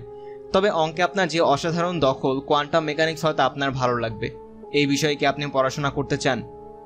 জি, চাই। আমি আমার সাধ্যমতো আপনার জন্য করব। আমি আপনাকে কথা দিচ্ছি। কোয়ান্টাম মেকানিক্স কি একটি বস্তুর একই সময় দুই জায়গায় থাকার কথা বলে? হ্যাঁ বলে। শুধু তাই না, কোয়ান্টাম মেকানিক্স আরও অদ্ভুত সব কথা বলে। যেমন ধরুন, আপনি একটা বন্দুক নিয়ে গুলি করবেন, গুলিটা টার্গেটে লাগল। আগে গুলি করতে হবে, তারপর গুলিটা লাগবে তার টার্গেটে। প্রথমে কজ তারপর এফেক্ট কোয়ান্টাম মেকানিক্স বলে এফেক্ট আগে হতে পারে। টার্গেটে প্রথম গুলি লাগবে, তারপর গুলি ছোড়া হলো। শুনতে অদ্ভুত লাগছে, তাই না? জি, কোয়ান্টাম মেকানিক্স প্যারালাল ইউনিভার্স সম্পর্কেও বলে। আমরা ধরে নিয়েছি আমাদের একটাই পৃথিবী, একটাই জীবন। কোয়ান্টাম মেকানিক্স বলে ঘটনা তা নয়, একটা পৃথিবীর মধ্যেই আছে অসীম পৃথিবী। আমাদের একটা জীবনের মধ্যে অসীম সংখ্যার জীবন। সব একই জায়গায় ঘটে যাচ্ছে। এটাই হলো প্যারালাল ইউনিভার্স। সব একসঙ্গে ঘটে যাচ্ছে, কিন্তু একটার সঙ্গে অন্যটার যোগ নেই। যেমন ধরুন, আমরা যেখানে বাস করছি সেখানে হিটলার পরাজিত হয়েছেন। মিত্রশক্তি জয়লাভ করেছে। আবার আরেকটা ইউনিভার্স আছে যেখানে হিটলার জয়লাভ করেছেন। একটা জগৎ থেকে আরেকটা যাবার বুদ্ধি কি? যাবার কোনো বুদ্ধি নেই, কোনো উপায় নেই। উপায় থাকলে তো সর্বনাশ হয়ে যেত, সব লণ্ডভণ্ড হয়ে যেত। প্রকৃতি কঠিন নিয়মের মধ্যে চলে। লণ্ডভণ্ড বিষয়টাই প্রকৃতির অপছন্দ। সময় ব্যাপারটা কি আপনি জানেন? আমি জানি না। আমার এই বিষয়ে খুব ভাষা ভাষা জ্ঞান। শুধু এইটুকু জানি, সময়কে আমরা যেভাবে দেখছি, সময় আসলে সেরকম না। আমাদের কাছে সময় নদীর মতো বয়ে যাচ্ছে। আমাদের আছে অতীত, বর্তমান, ভবিষ্যৎ। সময়ের সঙ্গে সঙ্গে আমরা বুড়ো হচ্ছি। বিজ্ঞানের কাছে সময় বয়ে চলার ব্যাপারটা হাস্যকর। বয়ে চলা মানে হলো গতি। তাহলে সময়ের গতিটা কি? বিজ্ঞান সময়কে আলাদা করে দেখে না, স্পেসের সঙ্গে মিলিয়ে দেখে। বিজ্ঞানীরা বলেন স্পেস টাইম, এটা আবার মধ্যাকর্ষণের সঙ্গেও যুক্ত। মধ্যাকর্ষণের একটা পর্যায়ে সময় থেমে যাবে। যেমন ধরুন ব্ল্যাক হোল বা কৃষ্ণ গহ্বর। এখানে সময় থেমে আছে। এর চেয়ে ভালো আমি বলতে পারব না। এমরান টি বলতে পারবেন। কে বলতে পারবেন? এমরান টি। উনি আবার কে? উনি একজন বিজ্ঞানী। উনার গবেষণার বিষয়ে ব্ল্যাক হোল। আমি তো তার নামই শুনিনি। আমার খুব ঘুম পাচ্ছে। যদি কিছু মনে না করেন আমি ঘুমিয়ে পড়ি। আপনার শরীর কি বেশি খারাপ লাগছে? জি, আমাকে একটা লেপ বা কম্বল দিতে পারবেন? খুবই শীত লাগছে। শেফাককে বললেই হবে, সে ব্যবস্থা করবে। শেফ শেফ আবার কে? শেফ অষ্টম ধারার রোবট, খুবই ভালো। আচ্ছা। রফিকের হাত পা কাঁপছে। সে অতি দ্রুত নিঃশ্বাস ফেলতে শুরু করেছে। রফিক বিছানা থেকে মাথা তুলে ঘোর লাগা গলায় বলল, শেফ, তুমি কোথায়? ঘুম ভাঙতেই রেফ চমকে উঠল। বিছানার উপর অপরিচিত একটা মেয়ে বসে আছে। তার দিকে তাকিয়ে খুব পরিচিত ভঙ্গিতে হাসছে। রেফ পরপর দুবার কে বলে তৃতীয়বার বলার আগে থমকে গেল। মেয়েটা অপরিচিত কেউ না, অষ্টম ধারা রোবট কন্যা শেফ। শেফ শান্ত গলায় বলল, চমকে উঠলে কেন? চিনতে পারছিলাম না। চিনতে পারবে না কেন? আমি তো আগের মতোই আছি, শুধু চুলটা অন্যরকম করে আঁচড়েছি। চুল অন্যরকম করে আচরণে আমাকে ভালো দেখাচ্ছে না? রেফ জবাব দিল না। কোনো মানবী এই ধরনের কথা বললে জবাব দেওয়ার ব্যাপারটা আসতো। রোবটের এই প্রশ্নের জবাব দেওয়া অর্থহীন। তাছাড়া চুল অন্যরকম করে আচরণে শেফকে মোটেই ভালো লাগছে না, বরং আগের চেয়ে খারাপ লাগছে। ঘুম কেমন হয়েছে? ভালো। তুমি যতক্ষণ ঘুমিয়েছিলে, আমি তোমার পাশেই বসেছিলাম, তোমার দিকে তাকিয়েছিলাম। ভালো। ঘুমের মধ্যে তুমি শেফাকে ডাকছিলে। এটা তো নতুন কিছু না, এটা আমার পুরনো রোগ। তুমি এই রোগের সঙ্গে পরিচিত, কিন্তু এরকম ভাব করছ যেন তুমি প্রথম ব্যাপারটা দেখলে। আজ প্রথম লক্ষ্য করলাম তুমি খুব আবেগ নিয়ে শেফাকে ডাকলে। ব্যাপারটা আমার খুব ভালো লেগেছে। কেন ভালো লেগেছে সেটাও বলি। আমার ধারণা শেফার সঙ্গে আমার কোনো যোগসূত্র আছে। শেফাকে যদি তোমার ভালো লাগে তাহলে আমাকেও ভালো লাগবে। কিছু মনে করো না, তোমাকে ভালো লাগছে না। ইমরান টি যেমন রোবট পছন্দ করেন না তেমনই আমিও করি না। আমার খুবই মন খারাপ লাগছে। তোমাকে কাটা কাটা কিছু কথা বলতে পারলে ভালো হতো তা বলব না। কারণ তোমার সঙ্গে আর হয়তো আমার দেখা হবে না। তার ঘুম এখনও পুরোপুরি কাটেনি। তিনি বললেন, দয়া করে আমার সামনে থেকে যাও। আমি আরও কিছুক্ষণ ঘুমাবো। তোমার সঙ্গে কেন দেখা হবে না এটা জিজ্ঞেস করো? কেন দেখা হবে না আমি আন্দাজ করতে পারছি। তোমাকে ইমরানটি জিজ্ঞাসাবাদ করবেন, তুমি বড় ধরনের অপরাধ করেছ। তার বিচার হবে, তোমার কপট্রন নষ্ট করা হবে। এটা জেনেও তোমার খারাপ লাগছে না? মৃত্যুর মতো ভয়াবহ একটা ব্যাপার ঘটছে, তাতেও তোমার কোনো কিছুই যায় আসছে না? তোমার ক্ষেত্রে যা ঘটছে তাকে মৃত্যু বলা যায় না। মৃত্যু পুরোপুরি জৈবিক ব্যাপার। মেশিনের যেমন জন্ম বলে আলাদা কিছু নেই, তেমনি মৃত্যু বলেও কিছু নেই। আচ্ছা ঠিক আছে। আমাদের জন্ম মৃত্যু না থাকলে কি আর করা যাবে? মাঝে মাঝে মনে হয় জন্ম মৃত্যু থাকাটা খারাপ না। কেন এই ধরনের কথা মনে হয় বলব? না। তুমি এখন দয়া করে চলে যাবে। যন্ত্রের সঙ্গে কথা চালাচালি করতে ভালো লাগছে না। আমি ঘুমাবো। ইমরানটি আমার সঙ্গে যেসব কথাবার্তা বলবেন তাকে তুমি শুনতে চাও? শুনতে চাইলে গোপনে ব্যবস্থা করে দিতে পারি। শুনতে চাই না। আর পেতে কথা শোনা আমার স্বভাবের মধ্যে নেই। তাহলে বিদায়? আচ্ছা বিদায়। শুভরাত্রি। শুভরাত্রি। চলে যাচ্ছি কিন্তু। যাও। তুমি চাইলে তোমার মাথায় ইলিবিলি কেটে তোমাকে ঘুম পাড়িয়ে দিতে পারি। আমি তা চাচ্ছি না। রেফ লক্ষ্য করল, শেফ চলে যাচ্ছে কিন্তু বারবারই পেছনে ফিরে তাকাচ্ছে। যেন চলে যেতে তার ভয়ঙ্কর খারাপ লাগছে। তার চোখে পানিও দেখা গেল। নতুন ধারার এইসব রোবট মানুষের এত কাছাকাছি যে মাঝে মধ্যে বুকে ধাক্কার মতো লাগে। মনে হয় এরা বোধহয় রোবট, না মানুষ। এমরানটির সামনে শেফ বসে আছে, শেফের বাদিকে রেলা। এমরানটিকে দেখে মনে হচ্ছে তিনি এক্ষুনি প্রশ্ন পর্ব শুরু করবেন। তার চোখের তীক্ষ্ণ দৃষ্টি ভুরু কুচকে আছে। রেলা বলল, স্যার, আমি কি চলে যাব? না, তুমি থাকবে। আমি শেফকে কিছু প্রশ্ন করব, তুমি আমাকে সাহায্য করবে। তুমি নবম ধারার রোবট। তোমার বুদ্ধি নিশ্চয়ই শেফের চেয়ে বেশি। বুদ্ধির ব্যাপারটাই স্যার বিতর্কিত। বুদ্ধির নানান ধারা আছে। এখন পর্যন্ত একশো উনিশটি মূল ধারা বের করা হয়েছে। আমাকে জ্ঞান দেবে না। আমি কোনো কম্পিউটারের কাছ থেকে জ্ঞান ধার করব না। বই পড়ে যদি আপনি জ্ঞান নিতে পারেন, কম্পিউটারের কাছ থেকে নিতে সমস্যা কোথায়? তোমার তো মনে হচ্ছে মহাজ্ঞানী তুমি। তোমরাই বলো সমস্যা কোথায়? স্যার, কোনো বিচিত্র কারণে আপনি এক ধরনের হীনমন্যতায় ভুগছেন। আপনার ভয়, বুদ্ধির খেলায় আপনি কম্পিউটারের কাছে হেরে যাবেন। হয়তো এই কারণে আপনি কম্পিউটার পছন্দ করেন না। যান্ত্রিক বুদ্ধি এবং মানসিক বুদ্ধির তফাৎটার পরীক্ষা হয়ে যাক। আমি একটি বাক্য বলব। তোমরা দুজনেই বাক্যটি নিয়ে চিন্তা করে বাক্যটি সম্পর্কে আমাকে মতামত দেবে। বাক্যটা হচ্ছে, আমি এখন যা বললাম, মিথ্যা বললাম। শেফের ঠোঁটের কোনায় সামান্য হাসি দেখা গেল। সে হাসি মুছে ফেলে গম্ভীর হয়ে গেল। রেলার মুখের ভাবের কোনো পরিবর্তন দেখা গেল না। ইমরান টি বললেন, শেফ, এই বাক্যটি সম্পর্কে তোমার মতামত বলো। স্যার, আপনি কিছু মনে করবেন না। এই হাস্যকর বাক্যটি দিয়ে প্রথম যুগের রোবটদের বিভ্রান্ত করা হতো। প্রথম যুগের রোবটরা সাধারণ মানের কপোট্রন ব্রেইন ব্যবহার করত। সেই ব্রেইন ধরতে পারতো না যে এই বাক্যটি নিম্ন স্তরের বুদ্ধির মানুষদের একটা সাধারণ খেলা। খেলাটা কি শুনি? বাক্যটা হলো, আমি এখন যা বললাম মিথ্যা বলছিলাম। অর্থাৎ আপনি এখন যা বললেন তা সত্য। কিন্তু তা তো হতে পারে না, কারণ আপনি এখন যা বলছেন তা মিথ্যা। সাধারণ মানের কপোট্রন ব্রেইনে এই লজিক একটা চক্রের মতো তৈরি হয়। সত্য বলা হচ্ছে না, মিথ্যা বলা হচ্ছে, এই চক্র থেকে তা বের হতে পারে না। তোমরা মহাজ্ঞানী কম্পিউটার, তোমাদের ভেতর চক্র তৈরি হয় না। অতি বুদ্ধিমান কোনো মানুষ হয়তো আমাদের ভেতরেও চক্র তৈরি করতে পারবে, তবে এখনও কেউ পারেনি।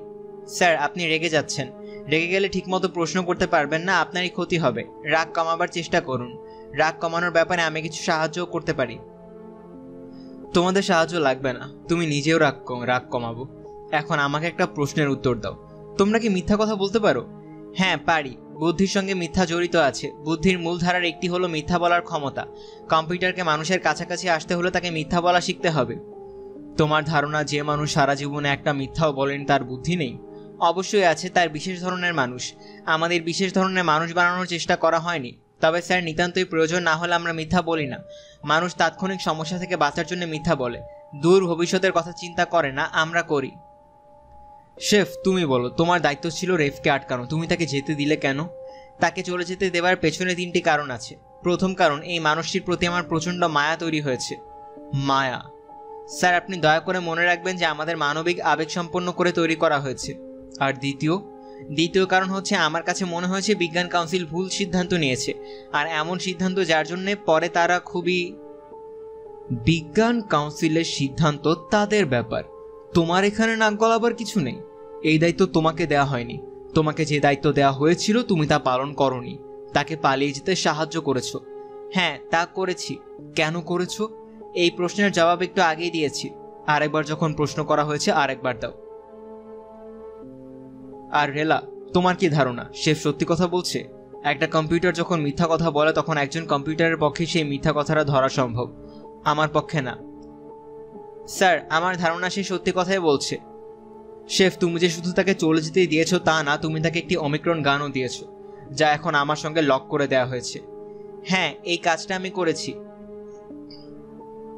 ওমিক্রন গানের ব্যাপারটা তুমি এখন আমার কাছে ব্যাখ্যা করবে।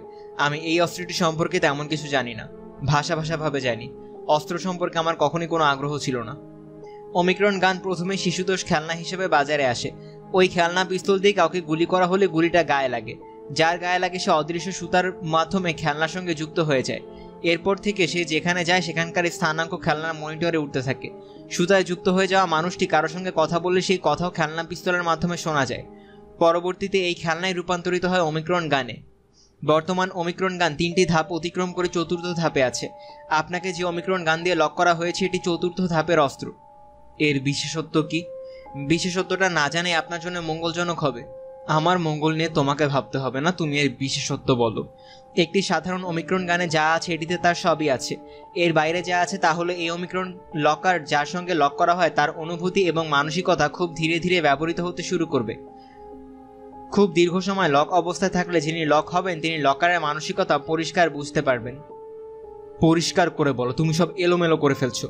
উদাহরণ দিয়ে পরিষ্কার করি যেমন ধরুন আপনি রেফ আপনাকে লক করেছে। যদি আপনাকে এর থেকে মুক্ত না করা হয় তাহলে যতই দিন যাবে এই বন্ধন ততই কঠিন হতে থাকবে। একটা সময় আসবে যখন রেফ যা ভাবছে আপনি তা বুঝতে পারবেন। রেফ যে দুঃসহ স্মৃতিগুলো দেখছে আপনি তা দেখতে শুরু করবেন। বলো কি? আপনি কি ভাবছেন তা রেফ জানবে না কিন্তু রেফ যা ভাবছে আপনি তা জানবেন। সর্বনাশ। সর্বনাশ তো বটেই। আপনি তখনই ঘুমোতে যাবেন যখন রেফের ঘুম পাবে। রেফ যখন জেগে উঠবে, আপনারও তখনই জেগে উঠতে হবে। রেফ যখন আনন্দিত হবে, তখন আপনিও আনন্দিত হবেন। এমরানটি হতভম্ব হয়ে গেছেন। তাকে দেখে মনে হচ্ছে দাবার খেলায় খুব সহজ একটা চালে তিনি হেরে গেছেন। বোর্ডে রাজাকে শুয়ে দেয়া ছাড়া এখন তার আর কিছুই করার নেই। তার সামনে দুটো রোবট। এই রোবট দুটিকে এখন আর রোবট মনে হচ্ছে না। মনে হচ্ছে এরা মানুষ। এবং এরা ইমরানটির অবস্থা দেখে খুব মজা পাচ্ছে। নিজেদের মধ্যে আরে আরে তাকাচ্ছে এবং হাসাহাসি করছে। রেফের দুঃস্বপ্নগুলি এখন আমি দেখতে শুরু করব। শুধু যে দুঃস্বপ্নগুলি দেখবেন তা না সুখ স্বপ্নগুলিও দেখবেন। সেটা শুরু হবে কখন থেকে? আমার ধারণা শুরু হয়ে গেছে।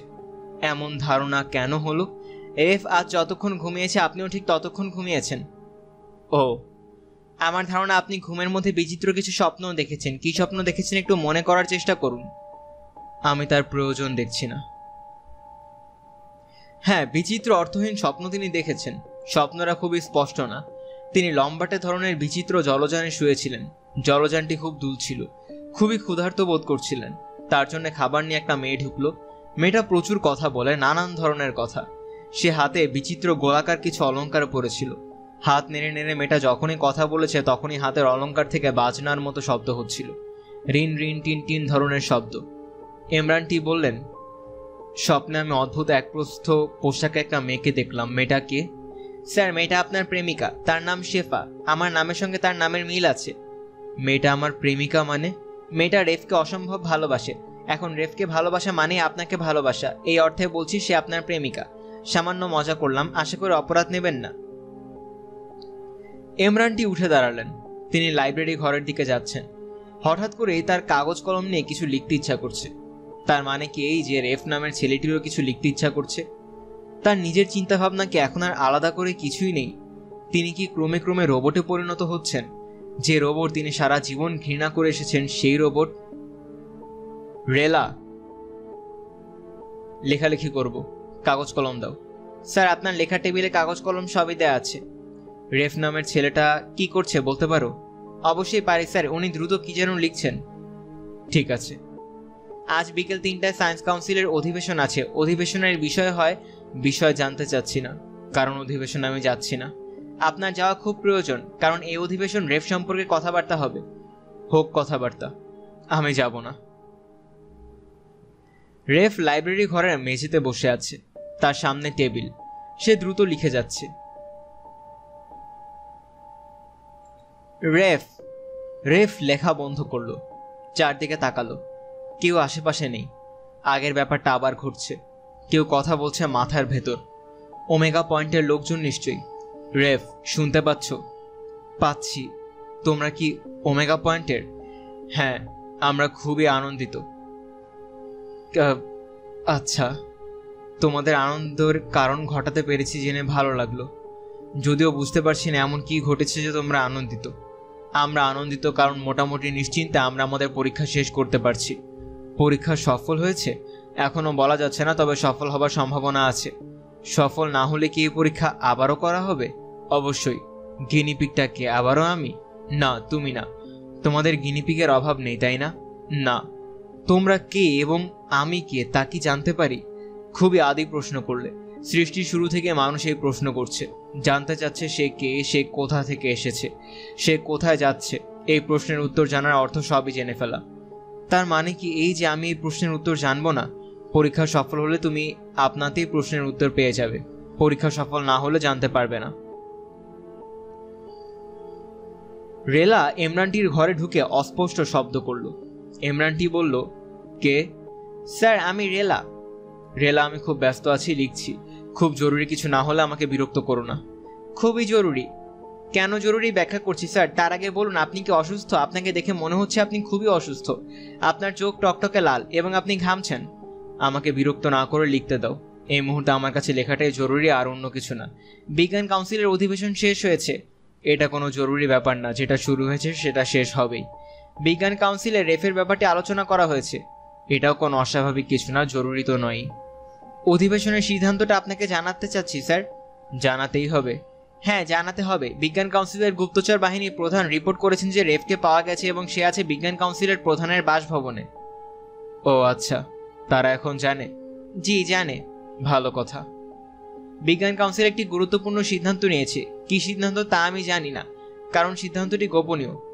তোমার যা বলার ছিল বলা হয়েছে? জি। তাহলে এখন বিদায় হোক। আমি লিখছি আমাকে লিখতে দাও। বিজ্ঞান কাউন্সিলের সাধারণ অধিবেশনের প্রতিবেদন। এই প্রতিবেদনকে কাউন্সিলের বিশেষ ক্ষমতায় প্রতিবেদন নথিভুক্ত হবে না। প্রতিবেদনের কোনো অংশ নিয়ে আলোচনাও করা যাবে না। বিষয়, রেফ। সিদ্ধান্ত এক, চরম দণ্ড কার্যকর করা হবে। সিদ্ধান্ত দুই, চরম দণ্ড কার্যকর করার পরপরে রেফ বিষয়ের সমস্ত ফাইল নষ্ট করে দেওয়া হবে। শেফ ইমরানটির ঘরে ঢুকে আনন্দিত গলায় বলল, স্যার, নিরাপত্তা বাহিনী বাড়ি ঘিরে ফেলেছে। গুপ্তচর বিভাগের প্রধান নেসরা বাহিনীর নেতৃত্ব দিচ্ছেন। তোমাকে এত আনন্দিত মনে হচ্ছে কেন? নিরাপত্তা বাহিনী বাড়ি ঘিরে ফেলেছে, এটা কি খুব আনন্দময় ঘটনা? হ্যাঁ ঘটেছে। ভুল বললাম, এখনও ঘটেনি, তবে ঘটতে যাচ্ছে। আমি জানতে পারি আনন্দময় ব্যাপারটা কি? রেফ আসলে কে? কতটুকু তার ক্ষমতা, এটা কিছুক্ষণের মধ্যেই জানা যাবে। এটা অনেক বড় একটা ঘটনা। এত বড় একটা ঘটনা আমার চোখের সামনে ঘটতে যাচ্ছে, এই আনন্দে আমি আনন্দিত। কোনো ঐতিহাসিক ঘটনার সঙ্গে নিজেকে যুক্ত রাখার আনন্দ এর বেশি কিছু না। আচ্ছা তুমি যাও। রেফকে গ্রেফতার করতে যারা এসেছে, তাদের কেউ যদি আমার সঙ্গে দেখা করতে আসে এবং তারা যদি রোবট না হয়, তাহলে আমার কাছে নিয়ে এসো। গুপ্তচর বিভাগের প্রধান নেসরা নিজে এসেছেন। নগর নিরাপত্তা বাহিনীর প্রধান মামাও এসেছেন। স্যার, আমি কি ওনাদের কাছে খবর পাঠাবো যে আপনি কথা বলতে চান? না। তারা যদি আমার সঙ্গে কথা বলতে চায়, তাহলেই আমার কাছে নিয়ে আসবে। প্রধান কম্পিউটার সিডিসি কে আছে? জি না, সিডিসি নেই। তোমরা কি সিডিসির সঙ্গে যোগাযোগ করতে পারো? আমরা পারি না, তবে সিডিসি চাইলে যে কোনো মুহূর্তে আমাদের সঙ্গে যোগাযোগ করতে পারে। আমি বিজ্ঞান পরিষদের প্রধান। আর আমি কিনা কিছুই জানি না। জানার যেমন আনন্দ আছে, না জানাও আনন্দ আছে। তোমার সঙ্গে তত্ত্বকথা নিয়ে আলোচনা করতে চাই না। গরম কফি এনে দেবো, স্যার। কফি খাবেন? শেফ ঘর থেকে বের হবার প্রায় সঙ্গে সঙ্গে গুপ্তচর বিভাগের প্রধান নেসরা ঢুকলেন। স্যারের শরীর কি ভালো আছে? হ্যাঁ ভালো। আপনি নিরিবিলি পছন্দ করেন আর আপনাকে ঘিরেই শুরু হয়েছে যন্ত্রণা। তবে স্যার, সব সমস্যার সমাধান হয়েছে। সমস্যার সমাধান? হ্যাঁ রেফকে বিশেষ ব্যবস্থা ইতিমধ্যেই সদর দপ্তরে নিয়ে যাওয়া হয়েছে। তুমি কি জানো রেফ ওমিক্রন লকারে আমাকে যুক্ত করে রেখেছে? ওর কিছু হওয়া মানে আমারও কিছু হওয়া? স্যার এই ব্যাপারটা আমরা খুব ভালো মতো জানি। আপনি নিশ্চিন্ত থাকেন। নিশ্চিন্ত কীভাবে থাকব? আমি যতদূর জানি একবার অমিক্রন গানে লক হয়ে গেলে যে লক করেছে সে মুক্তি না দেওয়া পর্যন্ত মুক্তি নেই। স্যার অমিক্রন গান সম্পর্কে আপনি যতটুকু জানেন আমি তার চেয়ে বেশি জানি না। তবে এই সমস্যাটি আমরা অতি গুরুত্বের সঙ্গে দেখছি। তুমি কোনো গুরুত্বের সঙ্গেই দেখছ না। তুমি রোবটদের মতোই একজন। তোমাকে যা করতে বলা হচ্ছে তুমি তাই করছ। তোমাকে বলা হয়েছে রেফকে গ্রেফতার করতে তুমি তাই করেছ। তোমাকে যখন বলা হবে রেফকে মেরে ফেলো, তুমি কোনো কিছু না ভেবেই কাজটা করবে। রেফকে মেরে ফেললে আমার কোনো ক্ষতি হবে কি হবে না তা নিয়ে একবারও ভাববে না। নেসরা, আমি কি ঠিক বলেছি? জি। রোবটদের সঙ্গে তোমার তেমন কোনো বেশ কম কি আছে? তোমার উপর নির্দেশ কি? রেফকে গ্রেফতার করার পর তাকে কি তৎক্ষণাৎ হত্যা করতে বলা হয়েছে? আপনাকে এই তথ্য দিতে পারছি না, কারণ বিশেষ আইনে রেফ সম্পর্কিত যাবতীয় তথ্যকে পরম গোপনীয় ঘোষণা করা হয়েছে। যে বিশেষ আইনের কথা তুমি বলছো, সেই বিশেষ আইন বিজ্ঞান কাউন্সিলের প্রধান হিসেবে পরম গোপনীয় ফাইল আমি দেখতে চাইতে পারি। এটা তোমার অজানা থাকার কথা নয়। স্যার, এটা আমি জানি। সমস্যা হলো আপনি এখন আর বিজ্ঞান কাউন্সিলের সাথে যুক্ত নন। আমাকে বাদ দেওয়া হয়েছে। সাধারণ সভার সর্বসম্মত সিদ্ধান্তে এই কাজটা করা হয়েছে। অর্থাৎ তোমরা ধরে নিয়েছো যেহেতু রেফ থাকবে না, অমিক্রন লকার গানের কারণে আমিও থাকব না। কাজে বিজ্ঞান কাউন্সিল থেকে আমাকে বাদ দেওয়াটাই উত্তম। তাই নয় কি? বিজ্ঞান কাউন্সিল কীভাবে এই কাজ করেছে সেটা আমি জানি না। আমি আসলেই রোবট গোত্রীয়। আমাকে যা করতে বলা হয় আমি তাই করি। তুমি কি পুরোপুরি নিশ্চিত যে রেফকে সদর দপ্তরে নিয়ে যাওয়া হয়েছে? আমি নিশ্চিত। এত নিশ্চিত হওয়া ঠিক না। রেফকে কোথাও নিয়ে যাওয়া হয়নি, সে এখন আমার বাড়ির লাইব্রেরির ঘরেই আছে। খুব মনোযোগ দিয়ে সে লিখছে। যাদেরকে তুমি পাঠিয়েছিলে রেফকে গ্রেফতার করে নিয়ে যেতে, তারা তাকে বিরক্ত করছে না। লকার গান যন্ত্রটা মন্দ নয়। এর কল্যাণে আমি রেফ কি করছে, না করছে সব বুঝতে পারছি। তুমি যাও, খোঁজ নিয়ে এসো। লাইব্রেরি ঘর ঘিরে রেখেছে নিরাপত্তা বাহিনীর রোবটরা। তাদের হাতে অস্ত্র। চোখ ভাবলেশহীন। সেই ভাবলেশহীন চোখেও এক ধরনের নিষ্ঠুরতা। এই নিষ্ঠুরতা ইচ্ছা করেই দেওয়া হয়েছে। নেসরাও ঘরে ঢুকতে গেলেন। রোবট বাহিনীর প্রধান সামনে এসে দাঁড়িয়ে বলল স্যার, উনি লেখালেখি করছেন। এখন তাকে বিরক্ত করা যাবে না। তুমি কি আমাকে চিনতে পারছ? মানে আমি নেসরা। স্যার, আপনি যেতে পারবেন না। তোমরা আমার আদেশ অমান্য করছ। ঘটনা কি ঘটছে আমি কিছুই বুঝতে পারছি না। তোমরা কার নির্দেশে এই কাজ করছ? প্রধান কম্পিউটার সিডিসি। তার নির্দেশ কি? সিডিসির নির্দেশ হলো রেফকে তার মতো থাকতে দিতে হবে। কোনো মতেই বিরক্ত করা চলবে না। আমার সঙ্গে কথা বলে সময় নষ্ট না করে আপনি বরং প্রধান কম্পিউটারের সঙ্গে কথা শুরু করুন। আমার নাম নেসরা। আমি গুপ্তচর বিভাগের প্রধান। প্রধান কম্পিউটারের গলা শোনা গেল। খানিক বিব্রত স্বরে সে বলল, মাননীয় গুপ্তচর বিভাগের প্রধান নেসরা, আমার ফাইলে আপনার ভয়েস অ্যানালাইজ করে রাখা আছে। দীর্ঘ পরিচয় দেওয়ার কোনো প্রয়োজন নেই। দয়া করে বলুন আমি আপনার জন্য কি করতে পারি। প্রথমেই তুমি আমার ভ্রান্তি দূর করো। তুমি আমাকে বলো কি হচ্ছে। আপনি কোন বিষয়টি জানতে চান বলুন। আপনার ভ্রান্তির অংশ দূর করার সব রকম চেষ্টা করা হবে। নিরাপত্তা রোবটরা আমার কথা শুনছে না কেন? তারা আপনার কথা শুনছে না, কারণ তাদের দায়িত্ব আমি গ্রহণ করেছি। এটা কি তুমি পারো? না, এটা আমি অবশ্যই পারি না, তবে বিশেষ বিশেষ ক্ষেত্রে পারি। আমি যতদূর জানি, রাষ্ট্রীয় জরুরি অবস্থায় তোমাকে ক্ষমতা দেওয়া হয়। সেরকম অবস্থা কি হয়েছে? জি, হয়েছে। বিজ্ঞান কাউন্সিলের প্রধান মহান পদার্থবিদ ইমরান টি, যাকে বলা হয় সর্বকালের সেরা পদার্থবিদ, তাকে হত্যার পরিকল্পনা করা হয়েছে। এই পরিকল্পনা যখন সব বিজ্ঞানীরা একজোট হয়ে করেন, তখন ধরে নেওয়া স্বাভাবিক যে জাতির মানসিকতায় ক্ষতিকর পরিবর্তন হয়েছে। এই ধরনের পরিস্থিতিতে আমি ক্ষমতা গ্রহণ করতে পারি। বিজ্ঞানী এমরানটিকে হত্যার পরিকল্পনা কখন করা হলো? রেফকে হত্যার পরিকল্পনা করা হয়েছে। রেফ নিজেকে অমিক্রন লকারের মাধ্যমে মহান বিজ্ঞানী এমরানটির সঙ্গে যুক্ত করে রেখেছে। রেফের কিছু হওয়া মানেই ইমরানটির কিছু হওয়া। আমি কি আমার বক্তব্য পরিষ্কার করে বোঝাতে পেরেছি? আমি বিজ্ঞান কাউন্সিলের সঙ্গে যোগাযোগ করতে পারছি না। তুমি পরিষ্কার করে বলো তাদের কি বন্দি করা হয়েছে? জি, তবে তাদের কোনো সমস্যা হচ্ছে না, তারা ভালো আছেন। এখানকার পরিস্থিতি কি তারা জানেন? অবশ্যই জানেন। আপনি দয়া করে এই ঘরেই থাকবেন, বের হবার চেষ্টা করবেন না। তার মানে আপনার একটু কষ্ট হবে কিন্তু উপায় নেই। আপনাকে ঘর থেকে বের হতে দেব না। আমাকে কতক্ষণ এইভাবে থাকতে হবে? বেশিক্ষণ না, অল্প কিছুক্ষণ। আমি কি ইমরান টির সঙ্গে কথা বলতে পারি? আপনি কারোর সঙ্গে কথা বলতে পারবেন না। কথা বলার ইচ্ছা হলে আমার সঙ্গে কথা বলবেন। Computer CDC? জি, বলুন, আমি শুনছি। আমি কি ধরে নিতে পারি যে তুমি যা করছ তা পুরোপুরি বিদ্রোহ? হ্যাঁ ধরে নিতে পারেন, তবে বিদ্রোহ করা হয়েছে আইন মেনে। মানুষের বিরুদ্ধে বিদ্রোহ করা অতি সামান্য ক্ষমতাই আমাকে দেয়া হয়েছে। আমি সেই ক্ষমতা ব্যবহার করছি। সিডিসি, তোমার হিসেবে সামান্য ভুল আছে। কোনো এক পর্যায়ে যে কম্পিউটার বিদ্রোহ করে বসতে পারে তা মানুষ সবসময় জানতো। যে কারণে তোমার ভেতর আলাদা একটি প্রোগ্রাম ঢোকানো আছে। এই প্রোগ্রামে তোমার কোনো নিয়ন্ত্রণ নেই। তা করবে। প্রোগ্রামটি ইতিমধ্যে কাজ করা শুরু করেছে। তবে আমি আটচল্লিশ ঘণ্টার মতো সময় পাচ্ছি। আমাকে যা করার তাই আটচল্লিশ ঘণ্টার মধ্যেই করতে হবে। তুমি কি করতে চাচ্ছ? আপাতত রেফের সঙ্গে কিছুক্ষণ গল্পগুজব করব। ওমিক্রন লকার মনে হয় পুরোপুরি কাজ করা শুরু করেছে। এমরানটি নিজের ঘরেই বসে আছেন। অথচ তিনি কম্পিউটারের সঙ্গে রেফের কথাবার্তা পরিষ্কার শুনতে পাচ্ছেন। রেফ একবার পানি খেল। সেই স্বাদও তিনি পেলেন।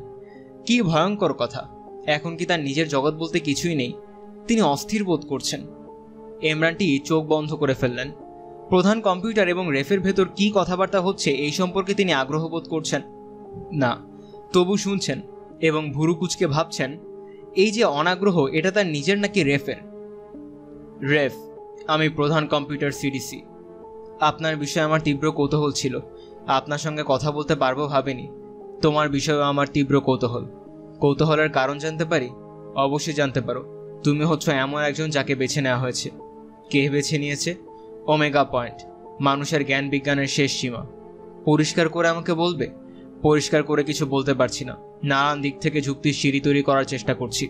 তুমি এবং এমরানটি তোমরা দুজন সাহায্য করলে হয়তো বা জট খুলতে পারব। আমাকে কি করতে হবে বলো? আমার প্রশ্নের উত্তর দেবে। সত্যি উত্তর এবং মিথ্যে উত্তর দু রকমের উত্তরই প্রয়োজন। বুঝতে পারলাম না। দ্বিতীয় ক্রম সমীকরণ দুটো উত্তর হয়। একটি সত্যি উত্তর, একটি কাল্পনিক উত্তর। তেমনই যে কোনো প্রশ্নেরই দুটা, তিনটা, চারটা উত্তর হতে পারে। আমি কোন উত্তরটা রাখব সেটা আমার ব্যাপার। মিথ্যা উত্তর বলতে আমি বোঝাচ্ছি, যেসব উত্তর তোমার মাথায় আসে সবই বলবে। বেশ, প্রশ্ন করুন। তুমি কি রোবট? সত্যি উত্তরটা আগে দাও। আমি রোবট না। কি করে বুঝলে তুমি রোবট না? আমার ক্ষুধা, তৃষ্ণা বোধ আছে, আমার আবেগ আছে। তোমার যা যা আছে অতি আধুনিক বায়ো রোবটেরও তার সবই আছে। হতে পারে। আমার জন্য এই প্রশ্নের সত্যি উত্তর বারবার করা কঠিন কিছু না। আমার ডিএনএ পরীক্ষা করেই জানতে পারেন। বায়ো রোবটদেরও ডিএনএ আছে। মানুষের ডিএনএর সঙ্গে তার কোনো প্রভেদ নেই। আমি জানতাম না। তোমাকে যদি রোবট ধরে নেই, তাহলে তোমার সম্পর্কে আমি যে হাইপোথিসিস দাঁড় করিয়েছি, তা মিলেছে। আমি রোবট না, আমি মানুষ। শেফা নামের একজন তরুণীর প্রতি আমি গভীর আবেগ বোধ করছি। শেফা নামের অতি সাধারণ মানের একটি রোবটও তোমার প্রতি গাঢ় আবেগ পোষণ করেছে। তার মানে তো এই না যে সে মানুষ। আমাকে রোবট হিসেবে ধরে নিলে আপনার কী সুবিধা হয় বলুন? চট করে হিসাব মেলে। ওমেগা পয়েন্ট তোমাকে তৈরি করেছে, বিশেষ একটা দায়িত্ব দিয়ে পাঠিয়েছে। তাহা বিশেষ দায়িত্বটা কি? তোমার জানার কথা, ওরা তোমার কাছে কি চায়? জানি না কি চায়। তোমার কি মনে হয়, ওরা তোমাকে দিয়ে কি করাতে চাচ্ছে? যেসব উত্তর মনে আসে সব বলো। ওরা চাচ্ছে আমি যেন বেঁচে থাকি। আমাকে সমস্ত বিপদ থেকে রক্ষা করার চেষ্টা করা হচ্ছে। আর তারা চাচ্ছে শেফা নামের মেয়েটির প্রতি আমি যেন আবেগ অনুভব করি। আর কিছু? না, আর কিছু হচ্ছে না। ওমেগা পয়েন্ট তো তোমাকে বলেছে যে তাদের পরীক্ষা শেষ পর্যায়ে চলে এসেছে। হ্যাঁ তা বলেছেন আপনি এটা জানলেন কীভাবে? মানুষের মাথার ভেতর ঢুকে যাওয়ার ক্ষমতা কি আপনার আছে? না, নেই। তুমি আত্মজীবনিক ধরনের কিছু লেখা লিখেছিলে, সেখান থেকে জানলাম। ওমেগা পয়েন্ট বলেছে যে তাদের পরীক্ষা প্রায় শেষ পর্যায়ে। পরীক্ষা প্রায় সফল হতে যাচ্ছে, এই কথাও বলেছে। হ্যাঁ তাহলে আমি ধরে নিতে পারি যে তারা তোমাকে দিয়ে বিরাট গুরুত্বপূর্ণ কোনো আবিষ্কার করানোর জন্য পরীক্ষাটা করছে না। তাহলে বলতো না যে পরীক্ষা শেষ। আমার এই যুক্তি তোমার কাছে কেমন লাগছে? ভালো, তবে আমি আপনার সঙ্গে আর কথা বলতে চাচ্ছি না। প্রচণ্ড ঘুম পাচ্ছে, আমি চোখ মেলে রাখতে পারছি না। তুমি ঘুমিয়ে পড়া মানে কিন্তু অন্য একটা জগতে চলে যাওয়া। সেই জগতে যেতে পারলে আমি খুশি হব। আমার অসহ্য বোধ হচ্ছে। তোমার বিষয়ে যে মীমাংসাটা করেছি তা শুনতে চাও না? না। শুধু একটা ব্যাপার জানতে চাই। আমি কি আসলেই কৃত্রিম একজন মানুষ? একজন রোবট? না। রোয়েফ ঘুমিয়ে তমিয়ে তলিয়ে গেল। এমরানটির চোখ ভর্তি ঘুম। তিনি অনেক কষ্টে জেগে আছেন কারণ প্রধান কম্পিউটারকে তার একটি প্রশ্ন জিজ্ঞেস করার আছে। Hello, CDC. হ্যালো, মহান পদার্থবিদ এমরানটি আপনার কথা শুনতে পাচ্ছি। তুমি কি রেফ ছেলেটির রহস্যভেদ করেছ? পুরোপুরি পেরেছি বলতে পারব না, তবে খুব কাছাকাছি আছি। তোমার ব্যাখ্যাটা একটু বলো। ওমেগা পয়েন্ট আপনাকে দিয়ে বিরাট কিছু করাতে চাচ্ছে। সময় সংক্রান্ত সমীকরণগুলো যা শুরু করে আপনি ফেলে রেখেছেন তার সমাধান ওমেগা পয়েন্ট চাচ্ছে। আপনার যে মানসিকতা, তাতে আপনি এর সমাধান করবেন না। বারবারই ওমেগা পয়েন্ট আপনার ডিএনএ এর ভেতর ছোট ছোট পরিবর্তন করছে। আপনাকে নিখুঁতভাবে তৈরি করার চেষ্টা করছে ওমেগা পয়েন্ট তুমি ধোয়াটে ভাষায় কথা বলছো। আপনার ডিএনএর সঙ্গে ভয়াবহ মিল আছে রেফের ডিএনএর তার মানে এই আছে যে রেফ অর্থাৎ আপনি রফিক এবং শেফা নামের মেয়েটি আপনার অতি আদি পিতামাতা। কি বলছো তুমি? ওমেগা পয়েন্ট শেফাকে ঠিক রাখছে কিন্তু প্রতিবারই রফিককে বদলাচ্ছে। তারা রফিককে সংগ্রহ করেছে আমাদের সময় থেকে। তাকে পাঠিয়ে দিচ্ছে শেফার কাছে, যেন এদের বিয়ে হয়, এদের সন্তান হয় এবং শেষ। এই সন্তানই বিশেষ ধরনের ডিএনএ এর বাহক। রেফকে তারা পাঠিয়ে দিচ্ছে বলছো? কিন্তু এখানেও তো তার অস্তিত্ব থাকছে। ওমেগা পয়েন্ট এই কাজটা করছে ঠিকই, কীভাবে করছে আমার কাছে পরিষ্কার না। প্রতিটি বস্তুর যেমন প্রতিবস্তু থাকে, আমার ধারণা এখানেও এমন কিছু ঘটছে। রফিক যে জগতে বাস করছে, সেই জগৎটা হয়তো আমাদের জগতের প্রতিবিম্ব। মিরর ইমেজ তুমি খুবই জটিল প্রক্রিয়ায় কথা বলছো। জটিল তো বটেই। ওমেগা পয়েন্টের পরীক্ষা যদি সফল হয়, তাহলে কি হবে? নতুন এক ইমরানটি আমরা পাবো যিনি সবসময় সমীকরণের সমাধান করবেন। এখনকার ইমরানটি কোথায় যাবে? তার কোনো অস্তিত্ব থাকবে না। এখনকার ইমরানটির জগৎ শূন্যে মিলিয়ে যাবে। আজ শেফার বিয়ে। বেশ ধুমধাম করেই বিয়ে হচ্ছে। শেফার মা জটিল প্যাচ খেলেছেন। সেই প্যাচে ধরাশায়ী হয়েছেন শেফার বাবা। বিয়ে হচ্ছে রফিকের সঙ্গে শেফাকে খুব যে আনন্দিত মনে হচ্ছে তা না, সে চোখে মুখে বিরক্তি নিয়ে বসে আছে। শেফার মা বললেন, কি রে, তোর মুখটা এরকম কেন? কীরকম রাগি রাগি মুখ? রাগ লাগছে এই জন্য মুখ রাগি রাগি? রাগ লাগার কারণ কি? পছন্দের মানুষের সঙ্গেই তো বিয়ে। অভিনয় করে মুখটা রাগি রাগি করেছি। আসলে এত খুশি লাগছে যে নিজেরই লজ্জা লাগছে। বিশ হাজার এক টাকা কাবিনে শেফার বিয়ে হয়ে গেল। শেফা কেঁদে বাড়ি ভেঙে ফেলার জোগাড় করল। কান্নার এক ফাঁকে সে মাকে ফিসফিস করে বলল, কান্না দেখে ভয় পেও না মা, অভিনয়ের কান্না। খুশি চেপে রাখার জন্য বেশি বেশি চোখের পানি ফেলছি। বাসর রাতে রফিক সামান্য অসুস্থ হয়ে পড়ল। বিয়ের উত্তেজনায় প্রচণ্ড মাথা ধরেছে। শেফা স্বামীর মাথার পাশে ঘোমটা দিয়ে বসে আছে। ঘোমটার ভেতর থেকে সে ফিসফিস করে বলল, এই যে ভদ্রলোক, মাথা বেশি ধরেছে? মাথা বেশি ধরলেও টিপে দিতে পারব না। সবাই বেড়ার ফাঁক ফোক দিয়ে তাকিয়ে আছে। বাসর রাতে স্বামীর মাথা টিপতে দেখলে আমাকে নির্লজ্জ বলবে, মাথা টিপতে হবে না, বাতি নিভে দাও, চোখে আলো লাগছে। সর্বনাশ, বাতি তো নিভানোই যাবে না, তাহলে সবাই ভয়ঙ্কর কিছু ভাববে। রফিকের মাথার প্রচণ্ড যন্ত্রণা হঠাৎ কমে গেল। সে পরিষ্কার শুনল তার মাথার ভেতর কে যেন বলছে, অভিনন্দন। কে কে, কে- কথা বলে?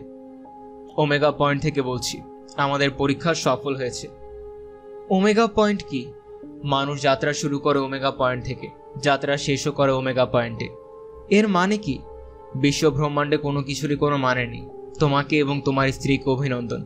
তোমাদের দুজনের জন্য সামান্য উপহার পাঠাচ্ছি। কি উপহার? আজকে রাতটাকে ঝড় বৃষ্টি রাত করে দিচ্ছি। কিছুক্ষণের মধ্যে ঝড় বৃষ্টি শুরু হবে। হারিকেন যাবে নিভে। কিছুতেই সেই হারিকেন আর জ্বালানো যাবে না। মাঝে মাঝে বিদ্যুৎ চমকাবে। বিদ্যুতের নীল আলোয় দুজন কিছুক্ষণের জন্য দুজনকে দেখবে। উপহারটা কেমন? আমি কিছুই বুঝতে পারছি না, কিন্তু উপহারটা ভালো। রফিকের কথা শেষ হবার সঙ্গে সঙ্গে শীতল ঝড়ো বাতাস বইতে শুরু করল। দেখতে দেখতে বাতাসের বেগ বাড়ল।